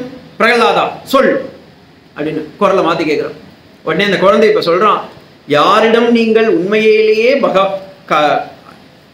அன்பு காட்ட வேண்டும் என்றால் பராவரேஷு பூதேஷு பிரம்மன் ததா ததாவதாதீஷு भोगेषु विक विकारेषु भूतेष्वत मत् महत्सु च गुणेषु गुणसाम्ये च गुणव्यक्तिरेककत तथा एक एव परो हि ஆத்மா பகவன் ஈஸ்வரோ அவ்யயः அந்த பகவானிடத்தில் நீங்கள் அன்பு காட்ட வேண்டும் அப்பா அந்த பகவானிடத்தில் பகவானை புரிந்து கொள்ளுங்கள் அவன்தான் எல்லா இடத்திலும் இருக்கிறான்றத தெரிஞ்சுக்கோங்கப்பா அப்படின்றான். பகவத்கீதையிலையும் கண்ணனம்புரான் இதே வார்த்தைய. எப்படி இங்க பிரகலாத சுவாமி பராவரேஷு பூதேஷு பிரம்மன். இந்த பிரம்மன் ஆத்மாவானது அவன் பாருங்கோ பிரகலாத சுவாமி ஒரு ஸ்டெப்பு கூட கீழே வரல. ஒரு ஸ்டெப்பு கூட கீழே வரல. அதனால தான் அவங்க அப்பாவையே வந்து அவன் மதிக்கிறான். அப்பாவுக்கு நமஸ்காரம் பண்றான்னு சொல்லியிருக்கு ஸ்லோகத்துல. ஆனா அப்பா கேட்டதுக்காக பொய் சொல்ல விரும்பலை. அம்மா சொல்றா விஷத்தை கொடு எந்த பாரு என்கிட்டயே கொடுத்து விஷத்தை கொடுக்க சொல்கிறாளேடா அப்பா தானேடா மாத்தி சொல்றா. அது எப்படிம்மா சொல்ல முடியும்? வேதத்தை நான் எப்படிம்மா மாத்த முடியும்னு கேட்கிறான் சண்டாமர்க்கர்கள் சொல்றாங்க டேய் எங்களுக்காக நாங்க தான் நாங்க சொல்றோம்டா. நாங்க சொல்லி கொடுத்ததை சொல்டா இரண்யாய நமகன் சொல்லுடான்றான் ஆனா அந்த குழந்தை என்ன சொல்றான்? அது எப்படிமா சொல்ல முடியும்? அது எப்படிப்பா சொல்ல முடியும்? குருவா நீங்க இருக்கிறீங்களே குரு கொடுத்த வேதம் என்ன? வேதம். அந்த வேதத்துடைய மறைபொருள் என்ன? கண்ணன். அந்த கண்ணனுடைய நாமத்தை தானே நான் சொல்ல முடியும்? எப்படி மாத்தி சொல்ல முடியும்? அதனால அந்த குழந்தை ரொம்ப தெளிவா இருக்கான். சமம் சர்வேஷு பூதேஷு திஷ்டந்தம் பரமேஸ்வரம். வினஷ்யந்தி ந வினஷ்யந்தி எப்பஷ்யதி ச பஷ்யதி கண்ணனம்பரான் பகவத்கீதையில பதிமூணாவது அத்தியாயத்துல இதே வார்த்தையை சொல்றான். சமம் சர்வேஷு பூதேஷு. யாராக இருக்கட்டும் அவன் உனக்கு அம்மாக இருக்கட்டும் அப்பாவா இருக்கட்டும் சொந்தக்காரங்களா இருக்கட்டும் சொந்த குழந்தைகளா இருக்கட்டும் எல்லா இடத்திலும் நீங்க ஒன்னே ஒன்றத்தை மட்டும் மனசுல வச்சுக்கோங்க. இவன் எனக்கு இறைவன். இவன் எனக்கு வந்திருக்கா. ஒரு கிஃப்ட் பகவான் எனக்கு ஒரு கிஃப்ட் கொடுத்துருக்கான் அவனே எனக்கு gift-ஆ வந்திருக்கான் எப்ப வேணாலும் அவன் போட்டும். எப்ப வேணாலும் வரட்டும். நான் பண்ணதுக்கு ஒண்ணுமே இல்லை. பகவான் கொடுத்த பொக்கிஷத்தை நம்ம காப்பாற்றணும். இப்போ உங்கள் கையில் ஒரு மாலையை கொடுத்து ஒரு வைர மாளிகையை கொடுத்து சார் இதை நான் எப்போ வேணால் கேட்பேன். நீங்கள் திரும்பி கொடுத்துருங்கணும். ஆனால் நீங்கள் வச்சுருங்கோ அப்படின்னு சொன்னால் நீங்கள் என்ன என்றைக்குன்னு நான் வருவேன்னு சொல்ல மாட்டேன். அப்படின்னு சொன்னால் நீங்கள் என்ன பண்ணுவீர் பத்திரமா வச்சுருப்பேன். பத்திரமா காப்பாற்றுவேன். ஆனால் உங்களுக்கு தெரியும் இது என்னோடது இல்லை. இதை தான் நாயன்மார்களில் ஒருவரான திருவோட்டு இதுவுக்கு கதைக்கு இதை தான் சொல்லுவாள் அந்த நாயனார் என்ன பண்ணா தான் திருவோடு செய்து செய்து சிவனடிகாருக்கெல்லாம் கொடுத்து கொண்டிருந்தார்ன்றதுல ஒரு பெரிய எண்ணம் என்னன்னா நான் செய்து கொடுத்து கொண்டிருக்கின்றேன். எத்தனை நாயனார்களுக்கு நான் எத்தனை பகவான் பக்தர்களுக்கெல்லாம் நான் திருவோடை செய்து கொண்டு கொடுத்திருக்கின்றேன் அப்படின்ற உடனே சிவன் பார்த்தார். வரேன்பா வரேன். திருவிளையாடல் பண்ணறதுக்குனே வரேன்னு கைலாயத்துலேருந்து வந்துட்டான். இவன் கொடுத்தது வெறும் மண் சட்டி அதை கொடுத்துட்டு சொல்கிறான் இதை நான் வந்து வெப்ப வேணா கேட்பேன் வச்சிருவங்கிட்டன்னு சொல்லிட்டு போயிட்டான். சிறிது காலமாவது அந்த மண் சுத்தி அவரே எடுத்து ஒழிச்சு வச்சுடுறார் இல்லை உடஞ்சி போயிடுத்து இந்த நாயனார்கிட்ட திரும்பவும் கொஞ்ச நாள் பொறுத்து சிறிது காலம் பொறுத்து போய் கேட்குறார். எப்பா நான் கொடுத்த சட்டியை திருப்பி கொடுப்பான்றார். அவர் போய் தேடி தேடி போய் பார்க்குறார் காணும். உடனே அவர் சொல்கிறார் அதை காணும் சுவாமி அதற்கு பதில் நான் எவ்வளவோ வச்சுட்டு இருக்கேன் திருவோடு அதுலேருந்து ஏதாவது ஒன்று அதான் எனக்கு தேவையில்லை. நான் செஞ்ச திருவோட்டத்தை கொடு அப்படின்றான் உடனே அவர் எங்கெங்கேயோ பார்க்கறாரு ஒன்றும் பண்ண முடியல. என்ன சுவாமி பண்ணது? நீ எனக்கு அடிமை அப்படின்னு ஒரே வார்த்தை போட்டார். ஏன்? உலகத்தில் நம்ம எல்லோரும் அடிமைதான். அதை தான் இன்னைக்கும் ஸ்ரீ வைஷ்ணவ சம்பிரதாயமாகட்டும் வல்லபாச்சாரிய சம்பிரதாயமாகட்டும் சைத்தன்ய மகாபிரபு சம்பிரதாயமாகட்டும் சைவ சித்தாந்தமாகட்டும். எல்லாம் நம்ம சொல்கிற ஒரே வார்த்தை என்னன்னா அடியாரவர்க்கு அடியார். அடியேன் தாசன் தாசதாசன். தாசோகம். சதா நம்ம எல்லாம் சொல்ல வேண்டியது என்னன்னா பகவானுக்கு நாம் அடிமை. நாம எல்லாம் பார்த்தீங்கன்னா இந்த உலகத்துல பகவானுக்கு அடிமை. அப்ப அவரால் ஒன்றும் பண்ண முடியல. அஜிஜோ நாம் அப்ப ஒரு சட்டிக்காக நாம் போய் என் வாழ்க்கையை கொடுக்கணுமானா வந்தது வேற யாரும் இல்லை சிவன் தான். அந்த அகங்காரத்தை நீக்கி அருளொளி ஏற்றுவதற்காக பகவானே இங்கே வரான். இதை படிக்கும்போது நம்ம என்ன சொல்லுவோம்? ஓகே திருவிளையாடல் புராணம் நன்னா இருக்கு. ஆக்சுவலி நம்ம ஒவ்வொருத்தர்கிட்டையும் அந்த சட்டி வச்சுட்டு இருக்கோம். என்ன சட்டி? மண்ணால் செய்து பஞ்சபூதத்தால் செய்த இந்த சட்டியை. ஒரு மண்பானை செய்யறதுக்கு அஞ்சு பூதம் தேவை. மண் காத்து நெருப்பு தண்ணி. தண்ணி போட்டு இருந்தால் தான் நல்லா வரும். ஸோ இந்த அஞ்சு பஞ்சபூதமும் சேர்ந்தா என்ன ஆயிடுத்து ஒரு பண்பானை. இந்த உடம்பை செய்யறதுக்கும் அஞ்சு பூதம் தேவை. வெயில் வந்ததுன்னா ஸ்வெட்டிங் வருதா? தண்ணி வருது. கடைசியில் மண்ணில் எடுத்துன்னு போய் போட்டேன்னா மகி போயிடும். உள்ளார ஜாட்டராக்னி நெருப்பு எரிஞ்சுட்டே இருக்கு. எட்டாயிரத்து. சுவாமி பசிக்கிறது. விட்டுருங்க எங்களை அப்படின்றது ஏன்? உள்ளார ஜாட்டராக்னி எரியறது. ஸோ எல்லா பஞ்சபூதமும் உள்ளார உட்காந்துருக்கு இந்த சட்டியை நம்ம என்ன பண்ணுறோம் தொலைச்சிட்டோம். தொலைச்சிட்டு தேடின்னு இருக்கோம் பகவான் திருவிளையாடல் நம்ம எல்லார் வாழ்க்கையிலும் நிகழ்த்தின்னு இருக்காரு ஆனா எங்க வர வரமாட்டார் அவர் என்ன பண்ணுறாரு இப்போ கலியுகத்தில் பிரத்யட்சமா வர்றதுக்கு பதில் மாட்டு பொண்ணாக வர்றார். மாமியாராக வர்றார். மருமகனாக வர்றார். மாமனாராக வர்றார். குழந்தையா வர்றார். வந்து கேட்குறார் எங்கே நான் கொடுத்த சக்தியை கொடு. நம்ம என்ன பண்ணுறோம் எல்லாரும்? அந்நெதிக்கு தே தேடுறோம். சுவாமி என் சக்தியை காணும். அஞ்சு வயசில் பார்த்த உடம்பு அறுபது வயசில் காணும் சுவாமி. அந்த உடம்ப காணும். பகவான் சொல்கிறான் அப்போ நீ எனக்கு அடிமை. ஆனால் நம்ம ஏற்க மறுக்கின்றோம். அனைவரும் நாம் ஏற்க மறுக்கின்றோம். இதுதான். ஏன்? நம்மிடம் இது என்னோடது அப்படின்னு நினைச்சுட்டு இருக்கோம் அதுதான். கண்ணன் சொல்கிறான் அதை விட்டுடப்பா. இது உன்னோடதே இல்லைப்பா. இதை நான் பிரத்யட்சமா காமிச்சுட்டு இருக்கேன். இது உண்டு இல்லைன்னு. அப்போ எந்த இல்லைன்னு நான் எப்படி சொல்ல முடியும்? அதனாலதான் சன்னியாசிகள் என்ன பண்ணிடுறாங்கன்னா இது எந்தே இல்லை. யாருன்னா கேட்டு சுவாமி உங்கள் பேர் என்ன? என் பேரே கிடையாதுங்க. என் பேரே நீக்கியாச்சுங்க. அப்போ உங்கள் பேர் என்ன? ஏதோ ஒரு டேஷ் ஆனந்தா. போடுங்கோ. ஏன்னா பகவானுடைய நேம அந்த முதல்ல போட்டுரும். அப்போ என்ன ஆயிடுத்து? அவர்கள் பகவானையே நினைப்பதற்காக பகவான் நாமத்தை உள்ளர போட்டுடுறாங்க. குழந்தைங்களுக்கும் நம்ம அதுக்காக தான் பகவானுடைய பேரை வைக்கிறோம். யதாபூத பிரதக் பாவக ஏகத்துவம் அனுபஷ்யதி. யார் ஒருவர் பகவானை எல்லா இடத்திலும் பார்க்க கத்துக்கொள்கின்றார்களோ ததையேவ ச விஸ்தாரம் பிரம்ம சம்பத்தியதே ததா.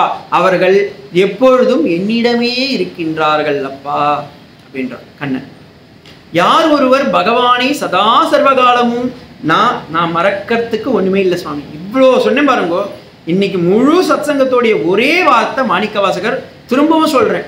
ஏன்னா அது எத்தனை இல்லை பொன்னெழுத்துக்கள் இல்லை பிளாட்டினம்ல போடணும். வாழ்க்கையில நம்ம இதயத்துல பகவான் ஒரு ஆணி கொடுத்தா எழுதி வச்சுக்கலாம். இமைப்பொழுதும் என் நெஞ்சில் நீங்காதான் தாழ்வாள். ஒரு க்ஷணம் கூட நான் மறக்கக்கூடாதப்பா உன்னை நினைச்சுட்டே இருக்கணும். தூங்கும் போதும். ஜாகிரத் அவஸ்தையிலையும் சொப்ன அவஸ்தையிலையும் சுஷுப்தி அவஸ்தையிலையும் சு- துரிய அவஸ்தையிலையும் எல்லா அவஸ்தையிலையும் நான் நினைக்க வேண்டியது யாரு? அந்த பகவான் தான். உடம்பே நமக்கு சொந்தமில்லை பகவான் தான். அப்ப வீட்டில் இருக்கிறவாள்லாம் யார்? வீட்டில் பகவான் கொடுத்த பொக்கிஷம்ப்பா வந்தாங்க போனாங்க. அவன் எடுத்துட்டான் அவன் கொடுத்தான். அப்படின்னு ஆயிடும் இந்த எண்ணம் வர்றதுக்குத்தான் பகவான் நம்மை வச்சிருக்கான். இதை தான் குலசேகர ஆழ்வார் ரொம்ப அற்புதமா முகுந்த மாலையில சொல்றார். அவர் கொஞ்சம் மாத்தி சொல்றாரு. இப்ப நான் இங்க பிரகலாத சுவாமி ஏன் நான் இது திரும்ப திரும்ப நான் வேதத்துல இருந்த ஒரு அன்பர் என்கிட்ட கேட்டிருந்தார் போன வாரம்? சுவாமி நீங்கள் பாகவதம் தானே எடுக்கணும். நீங்கள் சொல்லும் போது வேதத்துலேருந்து கோட் பண்ணுறீங்க இதிகாசத்துலேருந்து போகிறீங்க புராணத்துக்கு போகிறீங்க பகவத்கீதை போகிறீங்க நாயன்மார்கள் ஆழ்வார்கள்லாம் போகிறீங்கன்னு சி எல்லா இடத்துலையும் ஒரே பொருள் தான் வார்த்தைகள் தான் வேற வேறையா ஆனால் ஒரே பொருளை தான் சொல்கிறா இன்னொன்று வேதமே சொல்லும்போது அது ஒரு கண்ணாடி மாதிரி. இப்போ உங்கள் முகத்தை நீங்களே பார்க்க முடியுமா? உங்கள் நீங்கள் எல்லாரும் முகத்தையும் பார்க்க முடியும். உங்கள் முகத்தை நீங்களே பார்க்கணும்னா என்ன வேணும்? கர் கண்ணாடி வேணும். தர்ப்பணம்னு சொல்லுவாள் சம்ஸ்கிருதத்தில். அதே மாதிரி நீங்க பகவான் அப்படின்னதை உணரணும்னா அதற்கு ஒரே பொருள் என்னன்னா வேதம் புராணம் இதிகாசம் பகவத்கீதா. ஸ்ருதி ஸ்மிருதி புராணம். இது மூணும் நீங்க நல்லா தெரிஞ்சுட்டேன்னா அப்ப நம்ம தான் அதுன்னு தெரியும். அதுக்கு தான் நான் எப்பவுமே சொல்றது பகவத்பா சங்கர பகவத்பாதாலே அப்படிதான் எடுத்தார். ஸ்ருதி ஸ்மிருதி புராணானாம் ஆலயம் கருணாலயம் நமாமி பகவத்பாதம் சங்கரம் லோக சங்கரம் அது அவர் அப்படி சொன்னது காரணம் என்னன்னா அவர் ஒரு வார்த்தையை சொல்றாருன்னா ஸ்ருதி இருக்கும் ஸ்மிருதி இருக்கும் புராணம் இருக்கும். அவர்கிட்ட போய் கேட்டேன்னா அவர் சொல்ற பதில் என்ன தெரியுமா? சுவாமி நான் சொல்றதுக்கு எதுவுமே இல்லை. ஸ்ருதியில இப்படி சொல்லியிருக்கு. ஸ்மிருதியில இப்படி சொல்லியிருக்கு. புராணத்துல இப்படி சொல்லியிருக்கு. அதனால நான் சொல்றேன்றேன். அதே மாதிரி தான் நானும் சொல்றேன். நான் சொல்றதுக்கு எதுவுமே இல்லை. பகவான் என்ன சொல்லியிருக்கான்? பக்தர்கள் என்ன சொல்லியிருக்காங்க? ஆழ்வார்கள் ஆச்சாரியர்கள் என்ன சொல்லியிருக்காங்க? அதை தான் நம்ம வாழ்க்கையில பின்பற்றணும். குலசேகர ஆழ்வார் சொல்றார் नास्थाधर्मेण वसुनिचकेनैव कामोपभोगे यद्यद्भव्यं भवतु भगवन् पूर्वकर्माणरूपम् एतत्प्राप्तं भगुमतिमतिं जन्मजन्मान्तरेऽपि त्वत्पादाम्बोर्वयुगता நிச்சலா பக்திரஸ்து பகவானே எனக்கு நல்லா தெரியும். இந் நான் என்ன தர்மத்தை செஞ்சாலும் சரி என்ன அதர்மத்தை செஞ்சாலும் இந்த சரீரம் அதற்கு பலாபலன்களை அனுபவிக்கக்கூடியது. நல்லது செஞ்சேன்னா நல்லதா அனுபவிப்பேன். கெட்டதை செஞ்சா கெட்டதை அனுபவிக்க போறது. ஆனா இந்த சரீரம் அனுபவிக்குமே தவிர நான் அனுபவிக்க போவதில்லை. அது பூர்வ கர்மானத்தின் பூர்வ செயலின் வாசனையினால் அது நடக்கும். ஆனா எனக்கு அது வேண்டாம். எனக்கு நல்லதை கொடுன்னு நான் உங்ககிட்ட கேட்க மாட்டேன். கெட்டதை நரகத்தை கொடுக்காதன்னு கேட்க மாட்டேன். எனக்கு நீ கொடுக்க வேண்டிய ஒன்னே ஒண்ணு. துவத் பாதாம்போரு யுகதா. நான் எத்தனா ஜென்மம் எடுத்தாலும் சரி உன்னுடைய பாதத்தை மறக்காமல் உன்னுடைய நாமத்தை மறக்காமல் நிச்சலா பக்தி ரஸ்து அந்த பக்தியை மட்டும் எனக்கு கொடுத்துரும் ஏன்னா நான் புல்லா பிறக்க போகிறோனோ தெரியாது. புழுவா பிறக்க போறனோ தெரியாது. மானா பிறக்க போறனோ தெரியாது. இல்ல மலையா பிறக்க போறனோ தெரியாது. ஆனா எதுவா பிறந்தாலும் சரி உன்னை நினைக்கின்ற தருணம் எனக்கு வேண்டும். அதனால தான் ஔவையார் அந்த வார்த்தையை சொன்னான். பகவானே கேட்குறான் அவையார் கிட்ட உனக்கு என்னமா வேணும்? வரம் அப்படின்றான். பிறவாமை வேண்டும் மகன். இறைவா அப்படின்றான். அது தப்பு. நீ பண்ணியிருக்க புண்ணிய பாவம்லாம் இருக்குல்ல அப்ப நீ பிறந்து தான் தீர்வு அப்படின்றான். சரி பிறந்தால் உன்னை மறவாமை வேண்டும் ஐயா. இப்ப பாருங்க நம்ம அடுத்தது பிறப்போமான்னு நமக்கு யாருக்குன்னா தெரியுமா? தெரியாது. அப்படியே பிறந்தாலும் என்னவா பிறக்க போறோம்ன்றது யாருக்குன்னா தெரியுமா? சுத்தமாக தெரியாது. உங்களுக்கு இல்லை எனக்கும் தெரியாது. ஆனால் ஒன்று மட்டும் நிச்சயம் பகவானை நினைக்கக்கூடிய சக்தியை நமக்கு வளர்க்க முடியும்ல. அப்போ அதை மட்டும் எனக்கு கொடுத்துடே அப்படின்னா. இதை சொன்ன உடனே எல்லா குழந்தைங்களும் கொஞ்சம் இப்போ கன்விக்ஸ் ஆயிட்டா. எல்லாம் பிரகலாதன் சொல்றது நன்னா தான் இருக்கு. ஒருத்தவன் கேட்குறான் பிரகலாதன் உனக்கு இப்படா இதெல்லாம் தெரிஞ்சுடுத்து. சரி உனக்கு மட்டும் யார்? நீ பகவான் பகவான் சொல்றிய அவனை நான் இப்படா அடையிறது. இப்போ ஒரு வீட்டுக்கு போகணுன்னா அந்த வீட்டை திறக்கணும்னா எனக்கு ஒரு சாவி வேணும். அதே மாதிரி இந்த பகவான்றவனை நான் போய் பார்க்கணும்னா எனக்கு ஒரு சாவி வேணுமே அதுக்கு ஏதாவது சாவி இருக்காப்பா அப்படின்றான். பகவான் உடனே பிரகலாத சுவாமி சொல்றார் அவனுக்கு சாவி இருக்குப்பா. அவன்கிட்ட போகிறதுக்கு ஒரு அடையிறதுக்கு ஒரு சாவி இருக்குப்பா. என்ன சுவாமி அப்படி என்ன சாவி அது? அப்படின்னு யாருன்னா கேட்டீங்கன்னா நீங்க எங்கன்னா போனீங்கன்னா வீடு வரைக்கும் தான் நீங்க ஃபோன் இப்படி எடுத்துன்னு பண்ணீங்கன்னா லேண்ட்லைன் வீடு வரைக்கும் தான் வரும். அதுக்கு மேல போய் பார்த்தீங்கன்னா ஒன்றும் கிடையாது. இல்லை சுவாமி நான் என்னுடைய ரோடு வரைக்கும் எடுத்துகிட்டு போவேன். கார்ட்லெஸ் வேணால் எடுத்துகிட்டு போகலாம் இல்லை சுவாமி நான் எங்கே போனாலும் எனக்கு கண்ணுக்கு கண்ணாக செல்ஃபோன் இருக்குது சுவாமி. எந்த இடத்துல தான் போனீங்கன்னா சிக்னல் கிடைக்காம போயிடும். ப்ளீஸ் ட்ரை அகைன் அப்படின்னு சொல்லிடுவா ஒரு அம்மா வந்து. அதுக்கு மேலே சத்தமே வராது. வீதி வீடு வரை லேண்ட்லைன் வீதி வரை கார்ட்லெஸ் கார்டு வரை செல்லு. கடைசி வரைக்கும் யார் போடுவா? பில்லு தான் இருக்கும். ஆனால் டுவெண்ட்டி ஃபோர் இவன் டு செவன் சதா சர்வகாலம் மழை அடித்தாலும் வெயில் வந்தாலும் எல்லாருக்கும் ஒரே ஒன்று பகவான் எப்போ பார்த்தாலும் வச்சுட்டு இருக்கான் ஆன்லைன் சேவா ஆல்வேஸ் அக்செப்டட்னு வச்சுட்டு இருக்கான் என் நாமத்தை சொல்ல மாட்டேலா? என் நாமத்தை சொல்ல மாட்டேலான்னு. அவனுக்கு என்ன ட்ரையல் பண்ணணும்? நூற்றி எட்டு அடித்தா வண்டி வரும். இவனுக்கு என்னத்தை அடிக்கணும் அப்படின்னா ஒன்றும் இல்லை அவன் நாமத்தை சொல்லணும் சொல்லணும்பான்றான். பிரகலாத சுவாமி சொல்கிறார் பிரகலாதா துவயம் பயம் சாரியே. வித்மகே குரும். உனக்கு எப்படிப்பா இதெல்லாம் தெரிஞ்சிருத்து அப்படின்னா பிரகலாத சொல்றார் எனக்கு பகவான் நாரதர் கொடுத்த பிச்சை எனக்கு ஒன்று கிடைச்சிருத்துப்பா. அந்த மந்திரத்தை உங்க எல்லாருக்கும் சொல்றேன். நீங்கள்லாமும் சேர்ந்து சொல்லுங்கோ அப்படின்னு சொல்லி அந்த குழந்தை எல்லாருக்கும் சொல்றான். ஓம் நமோ பகவதே ராமகிருஷ்ணாய அப்படின்னு சொல்றான். உடனே எல்லா குழந்தைங்களும் நான் இங்கே மாற்றி சொல்லிட்டேன் வாசுதேவாயன்னு அவர் சொல்லியிருக்கார். உடனே எல்லா குழந்தைங்களும் சேர்ந்து சொல்லுறது ஏன்னா இவ்வளோ தொழில் கதையை கேட்டுருத்தா எல்லாம் சேர்ந்து சொல்கிறது நீங்களும் சொல்லுங்க. ஓம் நமோ பகவதே ராமகிருஷ்ணாய.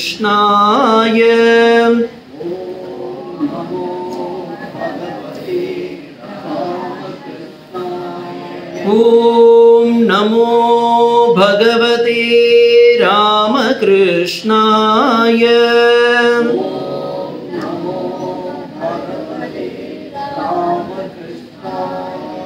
हरि ओं नमो भगवते रामकृष्णाय।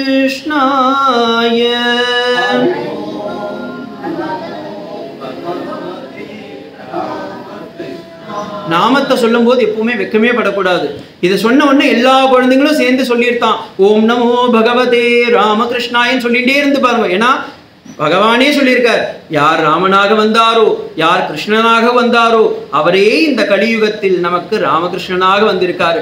பிரத்யக்ஷமா கலியுகத்துக்கு நமக்காக வந்த ஒரு குழ- பகவான். அவருடைய நாமத்தை சொல்லிண்டே இருந்தா உடனே பிரகலாத சுவாமி ஒரு பக்கம் சொல்லிகிட்டே இருக்கார். கூட இருக்கிற அந்த குருகுலத்தில் இருந்த அத்தான அசுர குட்டிகளும் ஒவ்வொன்றும் நாமத்தை சொல்லிகிட்டே இருக்கா. சண்டாமற்கனில் இப்போ தான் குளிச்சுட்டு வெளியே வந்திருக்கா. பார்த்தா ஆஹா நம்ம குருகுலத்தை குழந்தை மாட்டிட்டான் அப்படின்னு திருப்பி எடுத்துன்னு போய் குழந்தைய அப்பா கிட்டேயே சேர்க்க போறா. அப்பா அப்பா என்ன பண்ணுறார் என்னெல்லாம் ஆகுறதுன்றத அடுத்த கிளாஸ் கிடையாது. அதுக்கு அடுத்த கிளாஸும் கிடையாது. ஜனவரி புதுயுகத்தில் பகவானை நாம் கண்ணார காண்போம் சர்வத்திர கோவிந்த நாம சங்கீர்த்தனம் கோவிந்தா கோவிந்தா ஜானகி காந்த ஸ்மரணம் ஜெய் ஜெய் ராம ராம ஹர நம பார்வதி பதையே ஹர ஹர மகாதேவா தென்னாடுடைய சிவனே போற்றி எந்நாட்டவர்க்கும் இறைவா போற்றி. ஸ்ரீவள்ளி தெய்வசேனா ஸ்காந்த ஸ்மரணே சுப்பிரமணிய ஓம் சமஸ்த சாது மண்டலி கீ ஜெய்